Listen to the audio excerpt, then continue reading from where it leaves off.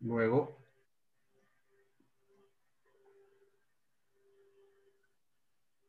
Ahí está. Se está viendo la gráfica, ¿verdad? Sí.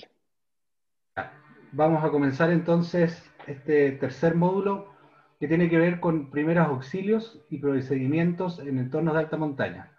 Originalmente se había hablado de, de generar una capacitación de primer auxilio y obviamente eso no es tan sencillo de realizar online.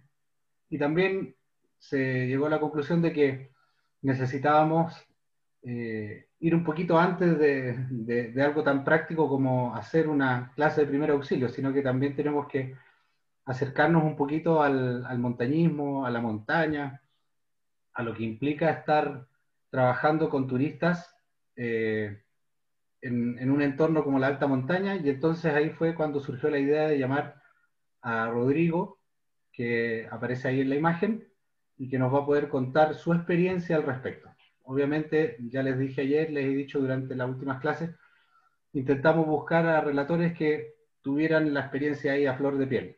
A lo mejor eh, las presentaciones no resultan tan técnicas, pero les van a poder preguntar de tú a tú, de persona a persona, cómo es dedicarse a la actividad. ¿Ya? Entonces, sin más preámbulo, voy a cambiar, voy a dejar de compartir la gráfica y vamos a compartir la presentación de Rodrigo.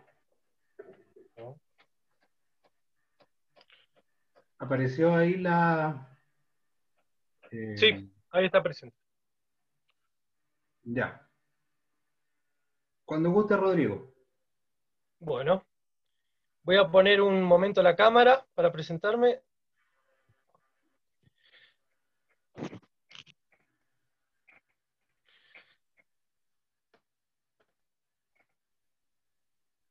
Hola, ¿cómo están? Bueno, mi nombre es Rodrigo Gabriel Zamendi y soy de Uruguay. Eh, vengo a compartir un poquito lo que he aprendido en estos 10 años en los que estoy viviendo aquí. La verdad que el primer aspecto que quisiera aclarar, eh, que es un poquito relevante, eh, es que capaz que le suene raro que alguien de otro país venga a, a describir y, y, a transmitir un poquito lo que ustedes ya saben y lo que ustedes conocen porque es su tierra. Eh, yo siento que ese derecho con el tiempo, la verdad que la tierra me, lo ha dado, eh, por el esfuerzo que uno ha tenido en lograr conocerla, las montañas, ¿verdad? Y, la, experiencia te lleva a, a poder aprender mucho más allá de donde seas. Yo considero que eh, esta tierra hoy por hoy es mi casa. Eh, lo entiendo así porque eh, hoy por hoy cuando me voy de aquí, de Atacama, es cuando yo me siento lejos de mi tierra. Incluso cuando voy a mi casa en Uruguay, siento que estoy dejando mi casa aquí. Entonces eso me hace ver que la verdad la tierra me ha recibido y me ha hecho parte, me ha adoptado como un hijo más de Atacama y por eso eh, me siento un poquito con la confianza de poder eh, transmitirles lo que, lo que me ha dado, ¿verdad? Eh, este tiempo. Voy a cortar la cámara un poquito y vamos a empezar con las presentaciones. Bueno, primero mm, les quería contar un poquito algunos desafíos que me ha costado bastante. Hace 10 años, cuando recién llegué y, conocí las montañas, entendí mm, que quería hacer de eso mi vida, así que hoy por hoy eh, vivo para esto y gracias a Dios puedo vivir eh, trabajando de esto también. Eh, bueno, cuando llegué cumplí un desafío que fue ir al Licancabur, quizás algunos lo conocerán, es un cerro de casi 6.000 metros que queda aquí en San Pedro de Atacama, que es el más icónico porque mm, es como el que tiene esa forma más piramidal, ¿verdad? Y es un, un tata muy querido aquí porque ha sido el cuidador de este sector. Y bueno, fui a ascenderlo caminando desde aquí, queda a 45 kilómetros de aquí. El primer día fue bien, déjeme un segundito para ver si me puedo ver. Ahí.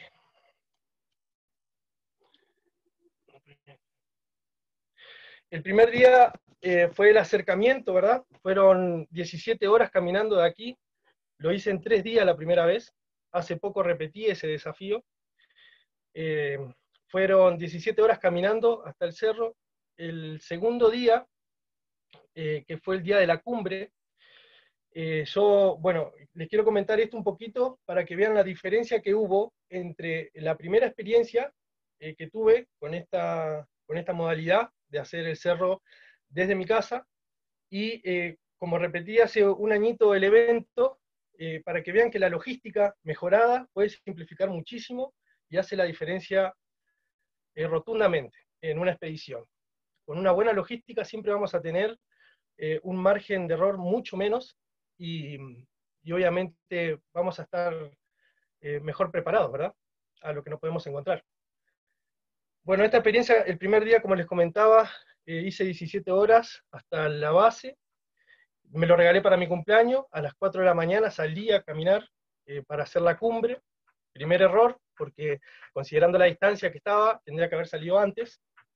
Em, y bueno, en mi cumpleaños cuando iba yendo hacia el Cancabur, eh, pasaron muchas cositas como significativas que me dio a entender que el cerro la verdad que me estaba recibiendo. hay detalles que son un poquito así como eh, locos. Por ejemplo, imagínense que era ah, eh, mi cumpleaños, ¿verdad?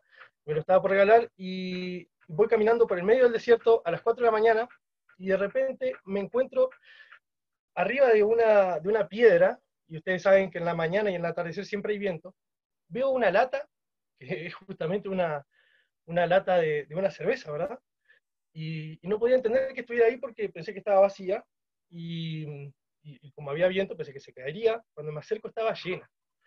Y a lo que voy con esto, es increíble que vos te regales un cerro eh, de esta magnitud y que se te esté presentando eso así, eh, como dándote una bienvenida. Obviamente yo nunca llevo alcohol, solamente para hacer los pagos, pero bueno, esto fue algo muy significativo. Tiene su explicación, eh, por ese camino pasan personas que salen un poquito ilegales de Chile, entonces deben haber sido como un pago por su triunfo de haber salido o entrado por ahí. Pero bueno, la vida me tocó que a mí me, me la encontrara justo en mi cumpleaños, por eso fue significativo.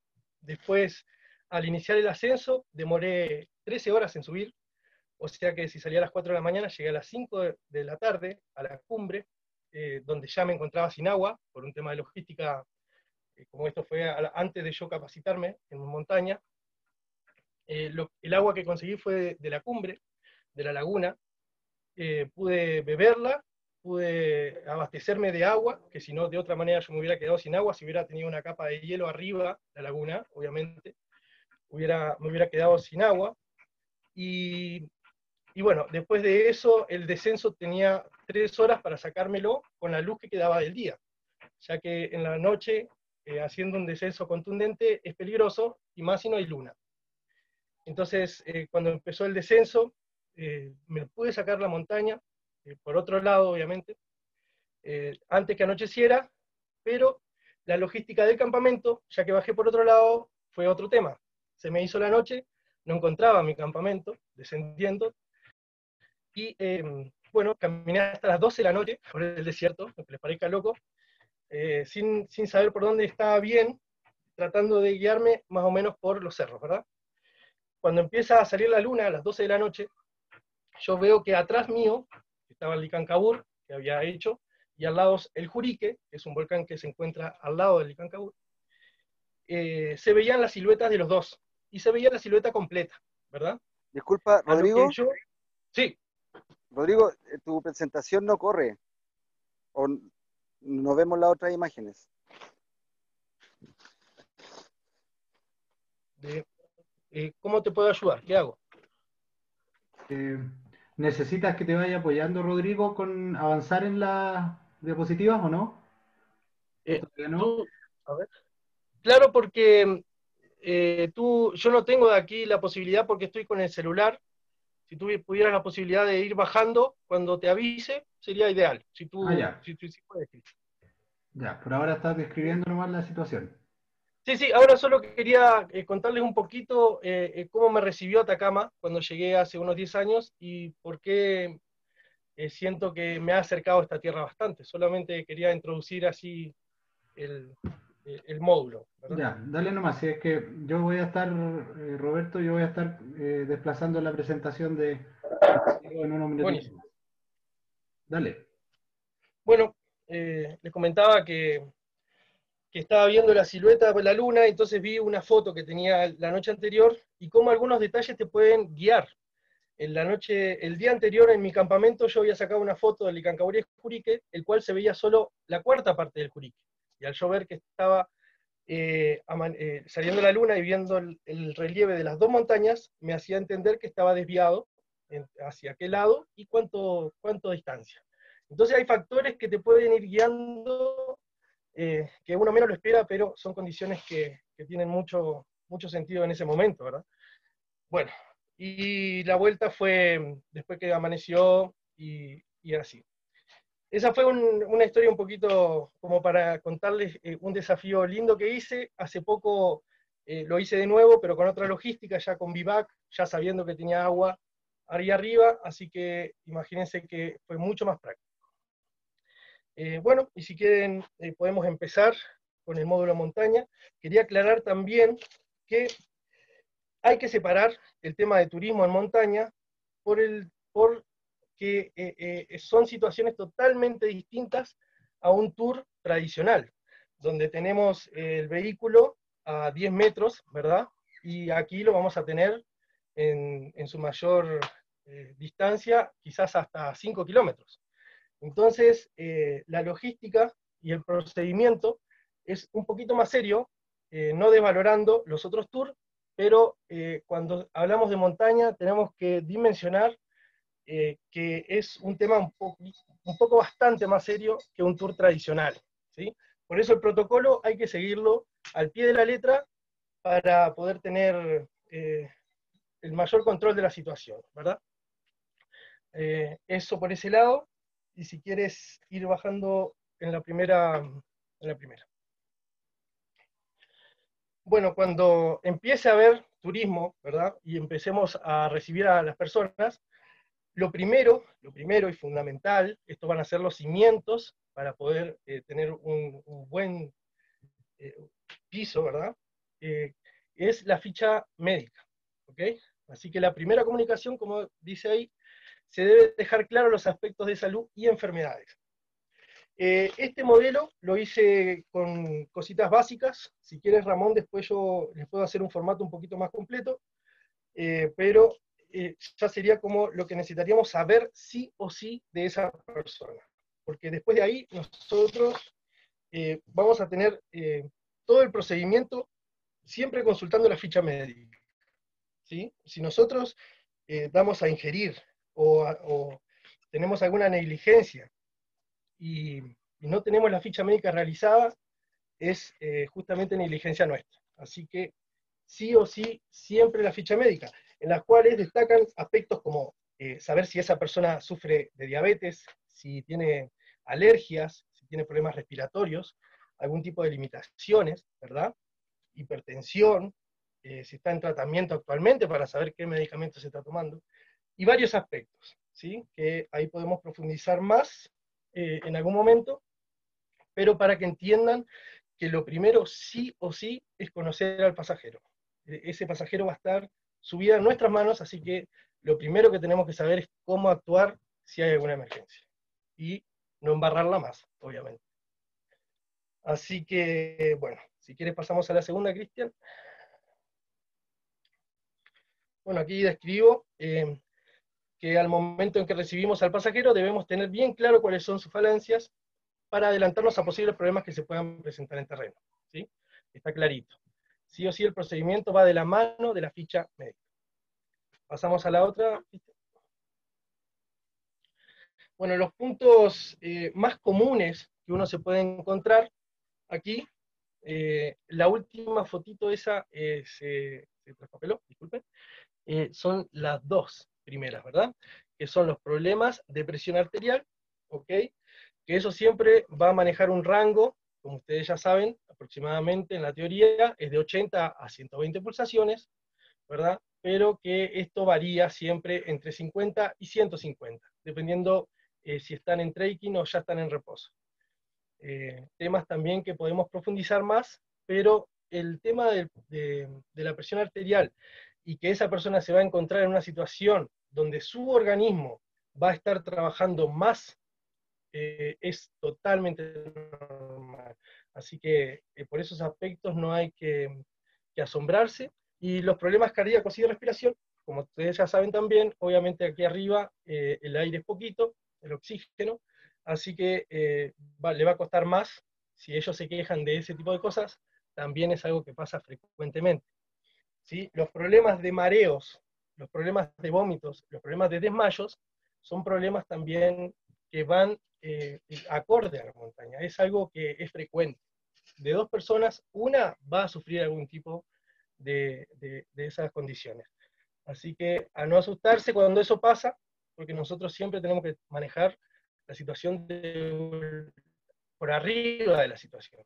Así que tenemos que tener una postura eh, más sólida de seguridad y de tranquilidad. ¿sí? Si pasamos al siguiente, Cristian.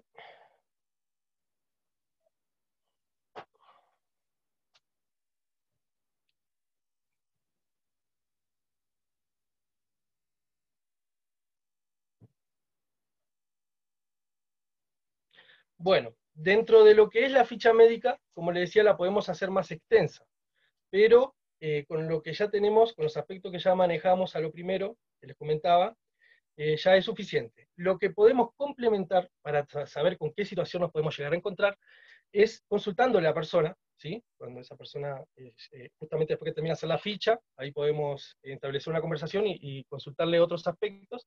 Bueno, esos aspectos que nosotros necesitaríamos saber sería si esa persona ya tuvo eh, un antecedente de altura. Esto es porque, como ustedes saben, el organismo tiene memoria y una persona que nunca estuvo a los 5, a los 4, eh, probablemente en su primera vez tenga alguna condición delicada.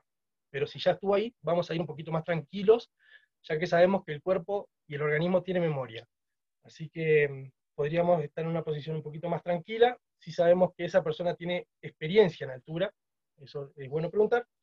Eh, obviamente en, el esfuerzo implica un volcán, no es un trekking y no es una visita a un parque, obviamente el esfuerzo es muchísimo, así que ellos tienen que estar al tanto de lo que van a hacer y tenemos que saber si ellos ya han realizado experiencias similares eh, con respecto a esfuerzos de 5 a 10 horas, que es lo que aproximadamente eh, nos lleva el evento, ¿verdad? Así que eh, ese es el segundo punto que estaría bueno hablar para que ellos ya sepan a lo que van. Y eh, lo tercero que creo que también es conveniente es consultarle cuáles son sus expectativas, porque hay mucha gente que viene, yo que sé, de Santiago y de repente quiere eh, tener sus 6.000, pero es, es muy poco, poco probable que si viene una persona de Santiago de nivel cero y quiere hacer en dos días un 6.000, tiene muy pocas chances de cumbre, es la verdad. Podemos aceptar el desafío, podemos tratar de subirlos, pero el buen procedimiento implica que tenemos que, preparar a esa persona, que tenemos que asesorarla para que logre el objetivo. Porque estar llevándolos eh, sabiendo que no van a poder, tampoco es la idea. Así que eh, tenemos que eh, saber que si viene por un objetivo, tenemos, tiene que estar acorde y a la altura de lo que él quiere hacer porque si no, eh, claramente podemos recibirle el, dinero y, tratar de subirlo, pero siempre hay que asesorarlo de la mejor manera, ya que ellos están cumpliendo un sueño, la mayoría de las personas que vienen a hacer una cumbre eh, tratan de, cumplir ese sueño, de lograrlo, ¿verdad? Y, no tienen muchas oportunidades, eh, menos en un lugar tan maravilloso como Yahweh, que tiene esos 12 miles espectaculares, que mucha gente va a querer venir a visitarlos, pero eh, tienen que entender a lo que vienen y, no simplemente tirarse, porque si no también sería un problema para nosotros porque sabemos que nos vamos a encontrar con, muchas situaciones de riesgo, ¿verdad? Bueno, y después al costadito yo eh, puse el primer filtro, es muy importante ya que luego de este procedimiento será subida nuestra responsabilidad, ¿sí? Eh, ahí arriba tienen que entender que los que estamos a cargo somos responsables de esas vidas abajito puse que eh, por temas legales eh, hay un, documento que ellos pueden firmar y se hacen responsables de, su, estado, ¿verdad? Entonces eso nos, eh, nos desvincula legalmente de si esa persona cumple, tiene un accidente, ¿verdad? Así que ese formato, Ramón, también te lo podría enviar para que más o menos tengas una idea de los papeles, eh, junto con el formato de las fichas médicas, ¿sí? Ahí tendrían que imprimir varias y bueno, y tenerlas ustedes de respaldo ya como parte del procedimiento. Eh, bueno, no sé si voy bien, disculpen un poquito que estoy un poco capaz nervioso y eh, he ensayado tanto que tengo tantas cosas que no sé bien, no sé si alguien quiere destacar algo, de preguntar algo me dicen. Eh, Sí, Rodrigo, dale nomás, si vamos bien, está dentro de lo que necesitamos reflejarle a los, a los beneficiarios. O sea, hay todo un proceso antes de siquiera subir a la montaña que tiene que cumplirse. Hay un papeleo, hay una, una suerte de entrevista que tenemos que hacer, así que dale nomás con tu experiencia. Perfecto, buenísimo. Esto siempre es para respaldar y para manejar la situación, como digo, siempre por arriba de la situación. ¿sí? Bueno, si quieres pasamos a la siguiente eh, gráfica. Bueno, en este caso, eh, no lo malentiendan, esperen a, entender el concepto de lo que quise explicar ahí. ¿sí? En el procedimiento pueden contradecirse aspectos según el criterio y dependiendo de las condiciones en ese momento. ¿Por qué digo esto? Porque en estricto rigor hay muchas cosas que son de una manera, ¿sí? Es verdad. Pero eh, a veces la experiencia y los patrones que nosotros ya hemos visto que se repiten, eh, nos hacen tomar decisiones que van un poquito en contra, ¿ok? Eh, les tengo un ejemplo para esto, justamente, que es el desmayo de un pasajero que me tocó a 100 metros de la cumbre, ¿ok? Iba con una, una pareja y esta pasajera se me desmaya a 100 metros. Eh, ya por la palidez y, como ella venía comiendo, eh, me di cuenta que era problema, perdón, no tenía hambre, me di cuenta que era problema de presión, ¿sí? por aspecto que después vamos a hablar más adelante de cómo darse cuenta cuando es azúcar baja o cuando es eh, presión arterial baja. ¿sí? Bueno, hay que, cuando una persona se te va a piso, ¿okay? hay que entender primero por qué es, por lo mismo la, ficha médica nos puede dar un buen respaldo de por dónde viene, porque si no tenemos un abanico muy grande de posibilidades. ¿sí? Eh, entonces, si, por ejemplo, si ellos vienen con hambre, vienen comiendo, y e, eh, es azúcar baja el desmayo, ¿verdad? Pero si ya están eh, caminando mal, motricidad, ya viene por un tema de presión. Bueno, esta pasajera se cayó, se fue a piso, la otra persona se puso muy histérica, la pareja de ella, y me, eh, me consultaba qué pasaba, qué pasaba, le, lo tranquilicé, que eso es lo primero, lo primero siempre es resguardar la zona, ¿verdad? Que, aprendemos eh, eh, cuando uno tiene que involucrarse en un aspecto, es controlar el entorno. cuando uno tiene que involucrarse en una situación en la que tiene que hacer un procedimiento de emergencia, lo primero es controlar el entorno. ¿A qué me refiero con eso? Tranquilizar a la gente que está al lado ¿sí? estabilizar. No podemos entrar a una zona donde no es segura, porque no es, tenemos que resguardarnos y la integridad de los demás primero que nada, para después poder proceder a, realizar las maniobras. Entonces lo tranquilicé, le dije que esto era algo totalmente frecuente, que se, pusiera eh, tranquilo. Eh, bueno, la estabilicé con un poco de sal abajo de la lengua, ¿verdad? Eh, le di unos cinco minutos, se repuso, y a lo que voy es que en estricto rigor, yo a esa pasajera la tenía que haber bajado enseguida, ¿sí? Porque eh, claramente el procedimiento dice que cuando una persona ya tiene una falencia de ese tipo, hay que evacuar. Pero como era de depresión y como estaba solo a 100 metros de la cumbre, hay algo que te da la experiencia, y es que cuando las personas logran el objetivo, las piernas para bajar se las da la cumbre. Eso es automático, es un patrón que se repite. Entonces, ¿a qué voy con esto? Que si yo descendía con esa persona y esa persona hacía perder la cumbre de los pasajeros, se iba sin la cumbre, eh, esa persona se me iba a desmayar dos o tres veces más en el camino de regreso, por la frustración y, todo lo que conlleva, ¿verdad? Pero le dije, ahora vamos a ir hasta esa cumbre, eh, te vas a sacar esa foto y vas a eh, estar con otra postura, vas a ver.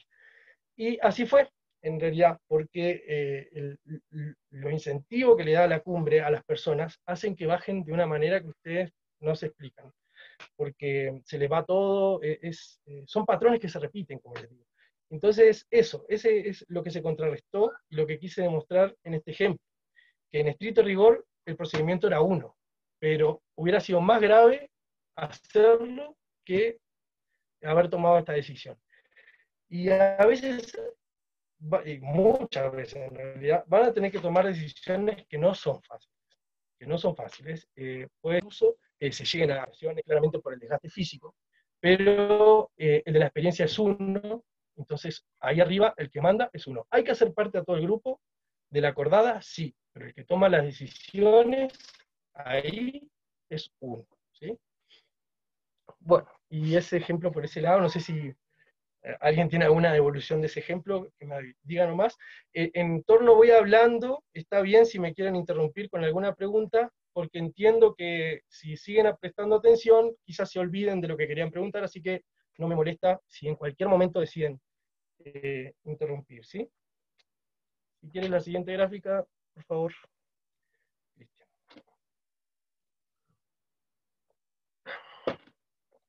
Bueno, esta es la del ejemplo, ¿verdad?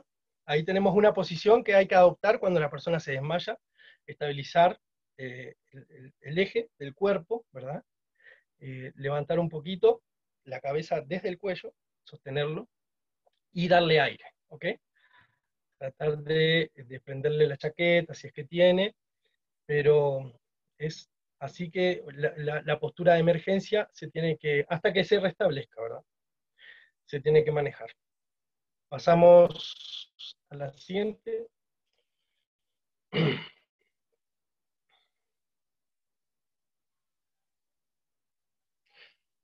Bueno, esto es lo que le comentaba que la situación siempre tiene que manejar un aspecto de tranquilidad y orden de nuestra parte. De nosotros comienza ese procedimiento. Después de ahí van a ver que eh, todo mejora. La situación, si uno eh, la tome como la tome, no va a cambiar. Así que siempre, siempre hay que eh, estabilizarla, siempre hay que llevar seguimiento para la situación que se está presentando. Se van a encontrar infinidad de situaciones en las que las personas lo van a cuestionar. Pero, como les digo, les remarco, el la experiencia es uno. Por algo, uno está ahí arriba a cargo y tiene que hacer valer eso. Eh, pasamos a la siguiente.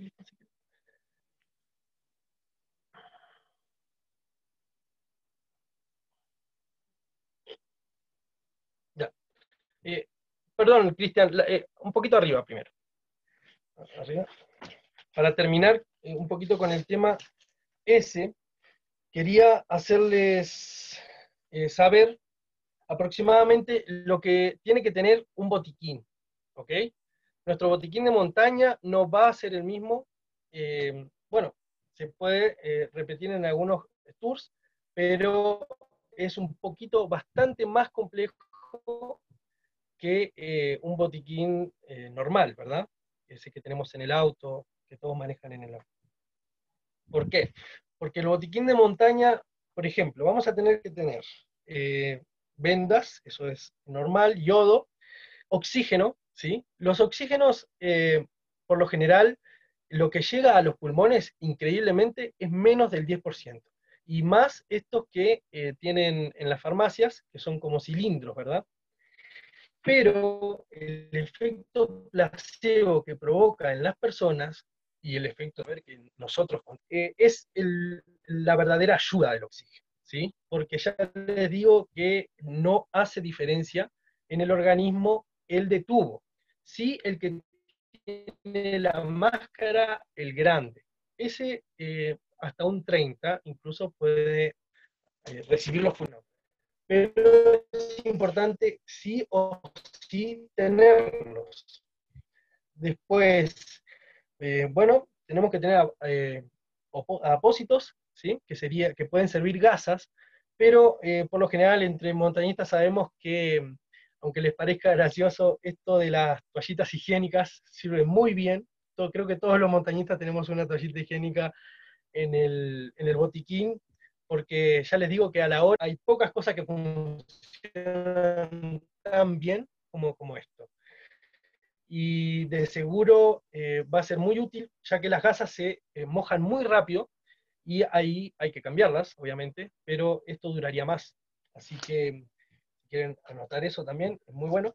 Lo otro que van a tener que adquirir, que muy pocas personas eh, manejan, aquí en San Pedro, por ejemplo, creo que ninguna incluso, eh, es un desfibrilador. ¿sí?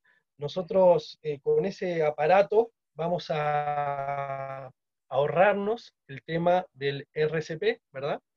que, bueno, obviamente hay que hacer una instrucción de cómo manejarlo, que también podemos hacer algo al respecto al momento de que lo adquieran. Eh, yo voy a quedar en contacto, obviamente, con ustedes para profundizar cualquier tema que quieran, se comunican conmigo y, no voy a tener ningún problema en compartirles la información y en asesorarlos en lo que sea. Así que eh, ya les digo que esa inversión va a ser eh, quizás por parte de Oyawe, obviamente, de unas 500, 600 mil pesos, pero de verdad que es necesaria más por el tema de que la posta, eh, no, vamos a tener una posta cerca, ¿verdad? Con una atención profesional eh, que sea de corto plazo, así que mm, eh, sería un muy buen implemento para agregar, no al botiquín porque no entra, pero a la camioneta. Bueno, después podemos tener cosas como alcohol para vasodilatar, se usa mucho el tema de la chachacoma, nosotros lo usamos en la montaña, pero tiene que estar fresca, ¿sí? Esto se estruja en las manos, se frota y respirándolo vasodilata. Es muy bueno, el eh, hace el mismo efecto, así que es muy bueno tener alcohol también en el, botiquín. Eh, bueno, guantes, eh, obviamente, para poder hacer los procedimientos un poco más higiénicos, ¿verdad? eh, Beto podemos estabilizar una persona ¿sí? a través de yo desarmando mis bastones, por ejemplo, eh, en una fractura, yo puedo poner los bastones de cada lado, de una pierna, por ejemplo, y con la venda estabilizarlo. Sabemos que eh, nuestro, nuestra emergencia profesional más cercana, una posta va a estar a horas, así que lo que más podamos estabilizar a los pasajeros vamos a lograr que, que sufra mucho menos daño de que si hacemos la evacuación con esa persona con la pierna colgando, ¿verdad? Así como un poquito floja. Eh, son detalles que también podemos hacer eh, prácticas, si gustan más adelante, eh, ya con manualidades, ¿verdad? Incluso podemos lograr hacer camillas, ¿sí? Podemos hacer algún taller eh, de camillas eh, con bastones y, mochilas, ¿verdad? Como por si la emergencia es un poquito más grande y esa persona ya no puede moverse. Hay procedimientos también para lograrlo. Y, es muy, muy útil porque son, es, es usando las herramientas que tenemos arriba. Entonces, es súper práctico.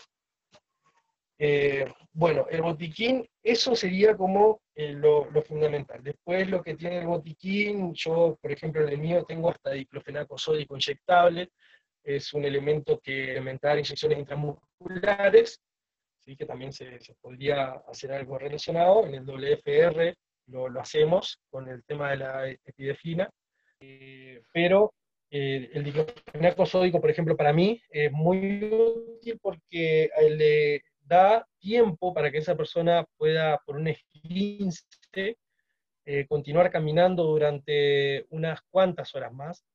Así que eh, ya le digo que lo que podemos agregar que a nosotros nos facilite una situación de riesgo siempre y que no sea muy bultoso, ¿verdad? Tampoco vamos a ir a una farmacia, una mochila, sino que es cosas que nos permitan manejar la situación más cómoda y más segura para, ir cerrando un poquito el tema de, del botiquín y, lo que tendría que manejar eh, dentro de él. ahora sí, si quieres, Cristian, vamos a la otra.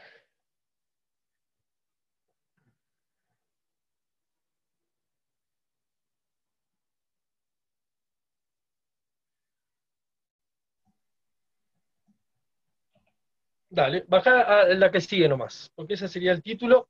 Logística y procedimiento de, procedimiento de acercamiento y ataque a la cumbre. ¿ok?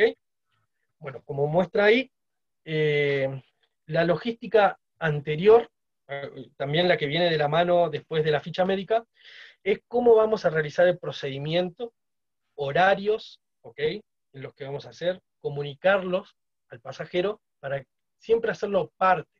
No, no, mantenerlo desinformado porque eso lo desvincula un poco del evento y ellos simplemente se ponen en la postura de clientes, eh, siendo que la montaña en realidad es un trabajo en equipo. ¿sí? Cada persona que está ahí arriba tiene y puede eh, aportar algo.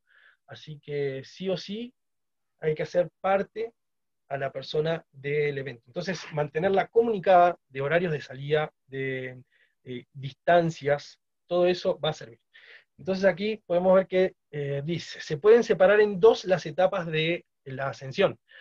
Una antes del evento y otra al momento en el que dejamos el vehículo y comenzamos a tener nosotros el control de la situación. Digo, que de ahí en adelante eh, es todo... Sí. María Mendoza está levantando la manito ahí, parece que quiere comentar algo al respecto. Bueno, bueno. Adelante. Sí, hola. Buenas tardes. Soy Janet Troncoso. Eh, puse ahí el nombre mío y el de mi madre porque estamos las dos conectadas a través de un mismo dispositivo. Yo quería darle a Rodrigo, porque no sé si no escuché la verdad, eh, parece que llegué un poquito tarde. Eh, si tú eres guía, o eres guía y paramédico, o eres paramédico, o algo así, ¿o no? no, yo soy guía de montaña tengo cursos de primeros auxilios básicos e intermedios, que son el WAFA y el WFR, ¿verdad? Ninguno me capacita como un profesional de la salud, pero sí me, asesoraron sobre cómo proceder ante varias situaciones eh, que se presentan frecuentes en la montaña, ¿verdad? Eh, también tengo cursos, eh, bueno, de especificaciones de la zona, como flora, fauna, historia, patrimonio y cositas así, pero si tu pregunta puntual es si soy un profesional de la salud, eh, no, no lo soy. Eh, tengo los cursos relacionados para eh, poder manejar la situación y es lo que estoy tratando de expresar, sumado a la experiencia que tengo de hace unos 10 años de los que hago montaña aquí en San Pedro de Atacama, que te podrás imaginar que varias cositas ya me habrán pasado, ¿verdad? los diplomas de los de los cursos eh, se los dejé a Cristian, no sé si les dije por las dudas, se los mandé a él, por si alguien quiere eh, verlos o, por si alguien quiere ver el nombre para ver qué capacitaciones eh, son buenas. Pero si tú me preguntas para ver qué estándar podrían pedir para ya trabajar en Oyagüe como guía, mínimo, mínimo sería uno de estos dos cursos, que sería el WAFA, el, el primer curso, ¿verdad? De, de, eh, ¿cómo es? Primeros auxilios en lugares remotos, ¿verdad? Así que... Rodrigo, ¿y qué, institución eh, entrega ese tipo de, de, instrucción, digamos, el WAFA? Sí, eh, mira, son empresas privadas, no son estatales, son cursos que se hacen, por ejemplo, Vial Adventures, después con el que yo hice el WAFA, eh, en Emergency Car, bueno, eh, es todo el procedimiento que se hace, ¿verdad? Y eh, privadas, son personas capacitadas que, tienen licencia, o sea, tienen el, permiso para establecer licencias de seguridad en alta montaña. si tú quieres comunicarte con ellos, ellos pueden ir a, incluso a Oshawé a hacer los cursos ahí mismo, por si ustedes tienen gente puntual que ya quisieran capacitar, ¿verdad? Eh, con gusto te puedo dar eh, los, datos de con quien yo, por ejemplo, me eh, capacité. sé que en Argentina tienen otros, sé que en Argentina es extendidos, pero ya te digo que el WAFA, por ejemplo, eh, son de 40 a 45 horas y eh, el WFR eh, son 80 a 120, dependiendo de la extensión del curso. Mm, ya. Gracias, Rodrigo. Perfecto. ¿Tú recuerdas, Rodrigo, cuánto te salió esa, en, términos económicos, digámoslo así, cuánto salía esa certificación? Sí, el WAFA, que es el primero, sale 450 dólares más o menos, aproximadamente. Y el otro anda entre los 1000 y los 1200, el, WFR, ¿verdad? Y eso es que, yo tengo. Muy bien. Y, sé que ellos pueden, eh, como institución, eh, Yahweh puede eh, contratar el servicio de capacitación con un precio que obviamente no va a ser que lo pague cada individuo, sino que ellos ya van a tener un precio específico por eh, el equipo que quieran capacitar. Así que no es que le va a cobrar por persona, sino que creo que les puede cobrar también por eh, curso. Muy bien, Rodrigo. Gracias por esos datitos. Ese es el tipo de, datitos duros que de repente nuestros beneficiarios también necesitan conocer porque eh, uno tiene que ir sacando cuentas de, bueno, cuánto me cuesta, tú ya mencionaste el botiquín, mencionaste el desfibrilador me parece que es un elemento que no, va necesariamente en el botiquín, pero también es bueno tenerlo y que no es económico.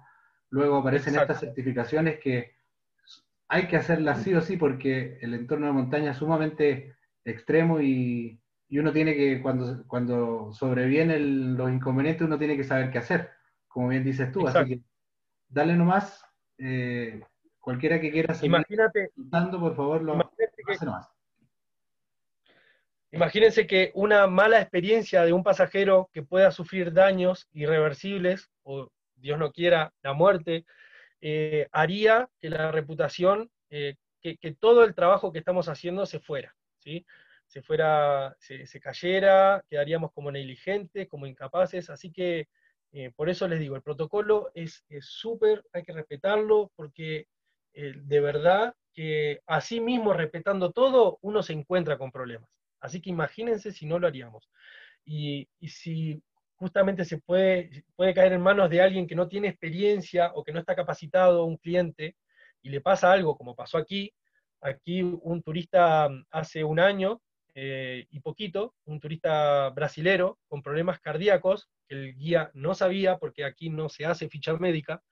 En mi caso, por ejemplo, yo hago la entrevista verbal con mis clientes el día anterior ya que las agencias que me contratan tampoco tienen fichas médicas, entonces yo me encargo de saber que esa persona está mm, en condiciones, ¿verdad?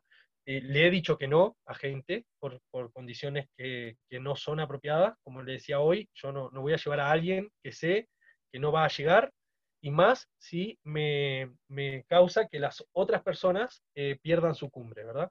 Entonces hay que ser bien estricto en eso, no, no, no hay que tener flexibilidad porque una, uno con experiencia ya sabe si esa persona, cuánto puede dar esa persona. Entonces, ese es el filtro más grande. Y ya les digo que yo lo tengo que hacer aquí verbalmente porque eh, las agencias son muy informales aquí en San Pedro. Estoy seguro que el turismo en Ollagüe va a ser muy distinto. Cuando fui a conocerlo, eh, bueno, como marcaba Vale ayer en la presentación, que va a ser la zona VIP de Atacama, eso va a ser sin duda pero nosotros tenemos que estar a la altura de eso también, el servicio tiene que estar a la altura de eso también, así que si hacemos las cosas bien, seguramente destaquemos sin duda en Atacama. Así que eso. Bueno, eh, les sigo comentando el tema de, los procedimientos que tenemos que adecuar. Ya tenemos que la ficha médica fundamental, ya tenemos las situaciones que nos podemos enfrentar, un avance, ya saben, mareos, eh, dolores de cabeza, náuseas, normal, totalmente normal. No se pongan eh, como que se les arruinó el tour por eso. ¿sí? Es más, tenemos tiempos. Nosotros sabemos, por ejemplo, que un mareo, cuando vamos subiendo, eh, se convierte en un dolor de cabeza leve en media a una hora. ¿Sí? Sabemos que ese dolor de cabeza se convierte en náuseas a eh, una hora más. ¿sí? Y esas náuseas eh, de una a dos horas más se convierte en vómitos. ¿sí? Y después de una hora más de ese vómito se convierte en vómito de bilis. O sea, hay patrones que se repiten que si nosotros los entendemos, sabemos con cuánto tiempo podemos manejar la situación.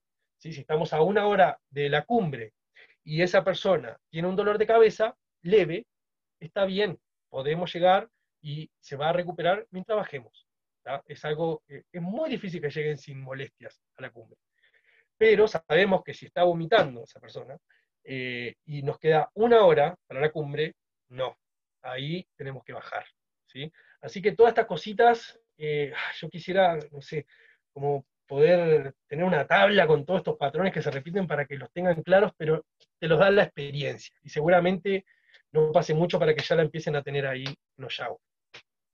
Bueno, aclarando eso, ya tenemos las situaciones que nos podemos encontrar, eh, ya tenemos el equipo que tenemos que tener de emergencia, todavía nos falta el equipo eh, que vamos a llevar arriba de alimentación y de vestimenta, ¿verdad? Pero bueno, teniendo la ficha médica, teniendo los problemas frecuentes, podemos pasar a organizar la logística del evento, ¿ok? Que, como bien les decía, se separa en dos. Tenemos que planear eh, lo posterior al evento, que van a ser las rutinas de ejercicio que la persona necesita para prepararse para ese día, siendo que no sea un deportista que ya viene preparado, ¿verdad? Eso es parte de la rutina previa. La alimentación de esos días va a ser súper importante, la hidratación, muy importante. La verdad que mucha gente mira en menos a el agua, quizás porque espera tener sed para empezar, pero el agua eh, funciona para equilibrar el organismo de una manera que nada más funciona así. Es increíble, pero claramente la gente no, no lo hace. Por eso hay que insistir mucho. A veces con los pasajeros, en la montaña el pasajero se convierte en un niño. Una porque la altura lo hace eh, pensar un poquito más lento, ¿verdad? Y otra porque a veces no te hacen caso y uno tiene que, estar atrás de ellos. Así que tengan paciencia con ese tema. Eh, así que la alimentación y, la hidratación de los días previos es muy importante. Eh, bueno, preparar el equipo necesario dependiendo de las condiciones. claramente, si tenemos condiciones de nieve, que claramente ustedes van a tener frecuentes, eh, tenemos que ir equipados de una manera, ¿verdad? Quizás si la pendiente por la cara en que vamos a, subir al volcán eh, es, tiene nieve y tiene una graduación un poquito empinada, vamos a tener que manejar crampones, vamos a tener que manejar cuerda y arneses. Vamos a, hacer una logística totalmente distinta de que el volcán no tenga nieve. Cuando no tiene nieve ya es una situación bastante más segura.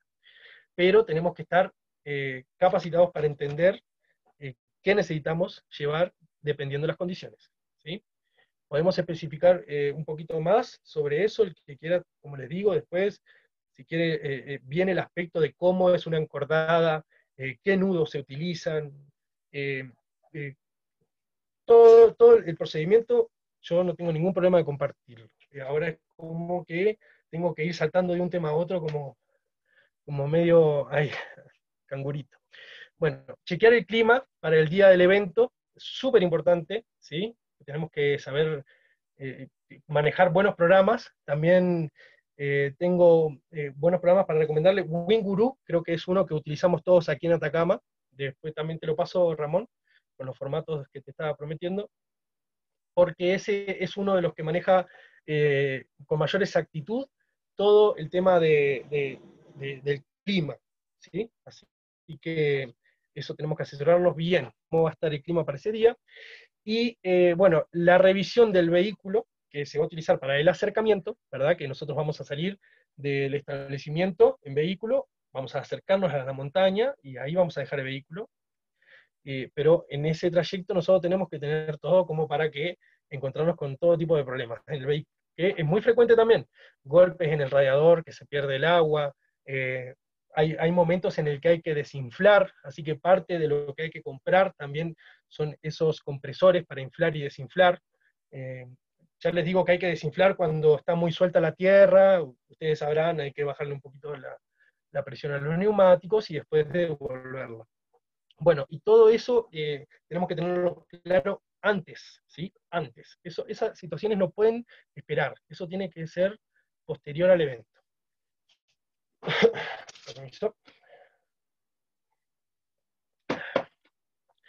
Y eh, bueno, y durante el evento, ya vamos a manejar otra situación totalmente distinta porque no vamos a tener la seguridad de la camioneta. Así que ahí vamos a tener que estar bien claros. Em, así que, y hacer parte, porque ahí ya eh, se empieza a involucrar más el cliente en el evento, ¿verdad? Tenemos que comunicar el tiempo estimado de subida y bajada para mentalizarlos. Exagerar es bueno para que ellos eh, estén preparados para un poquito más, Así que si ustedes creen que es, un ascenso de tres horas, díganle cinco y cosas así. Porque igual los motiva cuando ellos llegan en menos tiempo de lo que le dijimos. Eh, esas pequeñas motivaciones psicológicas son súper importantes. Eh, bueno, eso, hacerlo parte. Eh, la, comida de marcha también es súper importante. ¿Por qué? Porque todo lo que es jugos, porque, nosotros con esa dieta, nosotros podemos desorganizar su organismo. ¿ok? Porque me he dado cuenta, por ejemplo, en, los tours siempre me mandaban estos juguitos que son en caja chiquitos, así como suco y esas cositas. Es terrible para la montaña eso. Un cliente se toma uno de esos y a las dos horas tiene náuseas. ¿Por qué? Porque es, lo, el colorante que tienen esos jugos eh, hace un efecto sidra en la panza cuando están ya un poquito deshidratados, que hace que se mareen, ¿sí? Entonces, eh, nosotros tenemos que tener mucho cuidado, no simplemente por ser alimento es bueno, tenemos que tener cuidado con qué le damos. Eh, los isotónicos, los isotónicos en polvo son terribles, eh, siempre hay que llevar ya líquidos, ¿verdad? Y el tema de las comidas, tienen que ser comidas livianas, el azúcar se les va a bajar todo el tiempo a esta gente, así que siempre mucho azúcar, el azúcar es energía instantánea, ya saben, y, como les digo, armar un buen paquetito dependiendo la duración del evento, ¿verdad? Si yo tengo que caminar 5 o 8 horas, ya sé que no es el mismo, eh, la, misma ración de marcha que unas 3, 2, 3 horas, ¿sí? Así que es súper importante eso. Y obviamente en la ficha médica vamos a tener las limitaciones alimentarias del pasajero. Así que eh, por ese lado tenemos que siempre asesorarnos con la ficha médica. Y eh, bueno, chequear el, equipo de abrigo y caminata. Eso les comento porque las personas creen que eh, abrigarse es suficiente. Y no, en realidad hay que estar ventilando. ¿sí? Eh, un buen método para saber cómo uno está bien es que cuando se está preparando para salir a caminar, ¿verdad? Tiene que tener un poquito de frío. ¿Por qué? Porque cuando yo empiezo a caminar, ese calorcito que genero ya me hace quedar con un buen clima para todo el ascenso.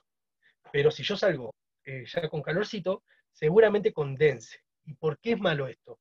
Porque una vez que la persona moja su primera capa, es súper difícil que recupere eh, la temperatura, súper difícil. No saben lo incómodo que, se sienten eh, cuando eso pasa. Y ellos creen que por ir súper abrigados ya es suficiente. No, tenemos que asesorarlos. Tenemos que asesorarlos y mostrarles cómo es. a veces se ponen porfiados, no quieren, pero tienen que hacer caso, no hay vuelta. Así que de nosotros también depende el confort de esa persona, porque somos el de la experiencia, ¿verdad? Em, bueno, chequear eh, bien el tema de la condensación. Más, más que nada por eso puse ese punto. Eh, ropa de, nieve no es lo mismo que ropa de trail, nada que ver. A la hora de tener equipo, no porque un pantalón sea súper abrigado, es bueno para caminar. Ese pantalón seguramente te va a mojar mucho. Y bueno, y estos son los dos aspectos, ¿verdad? No sé si se entendió bien, si alguien tiene alguna preguntita, o pasamos al siguiente eh, gráfico.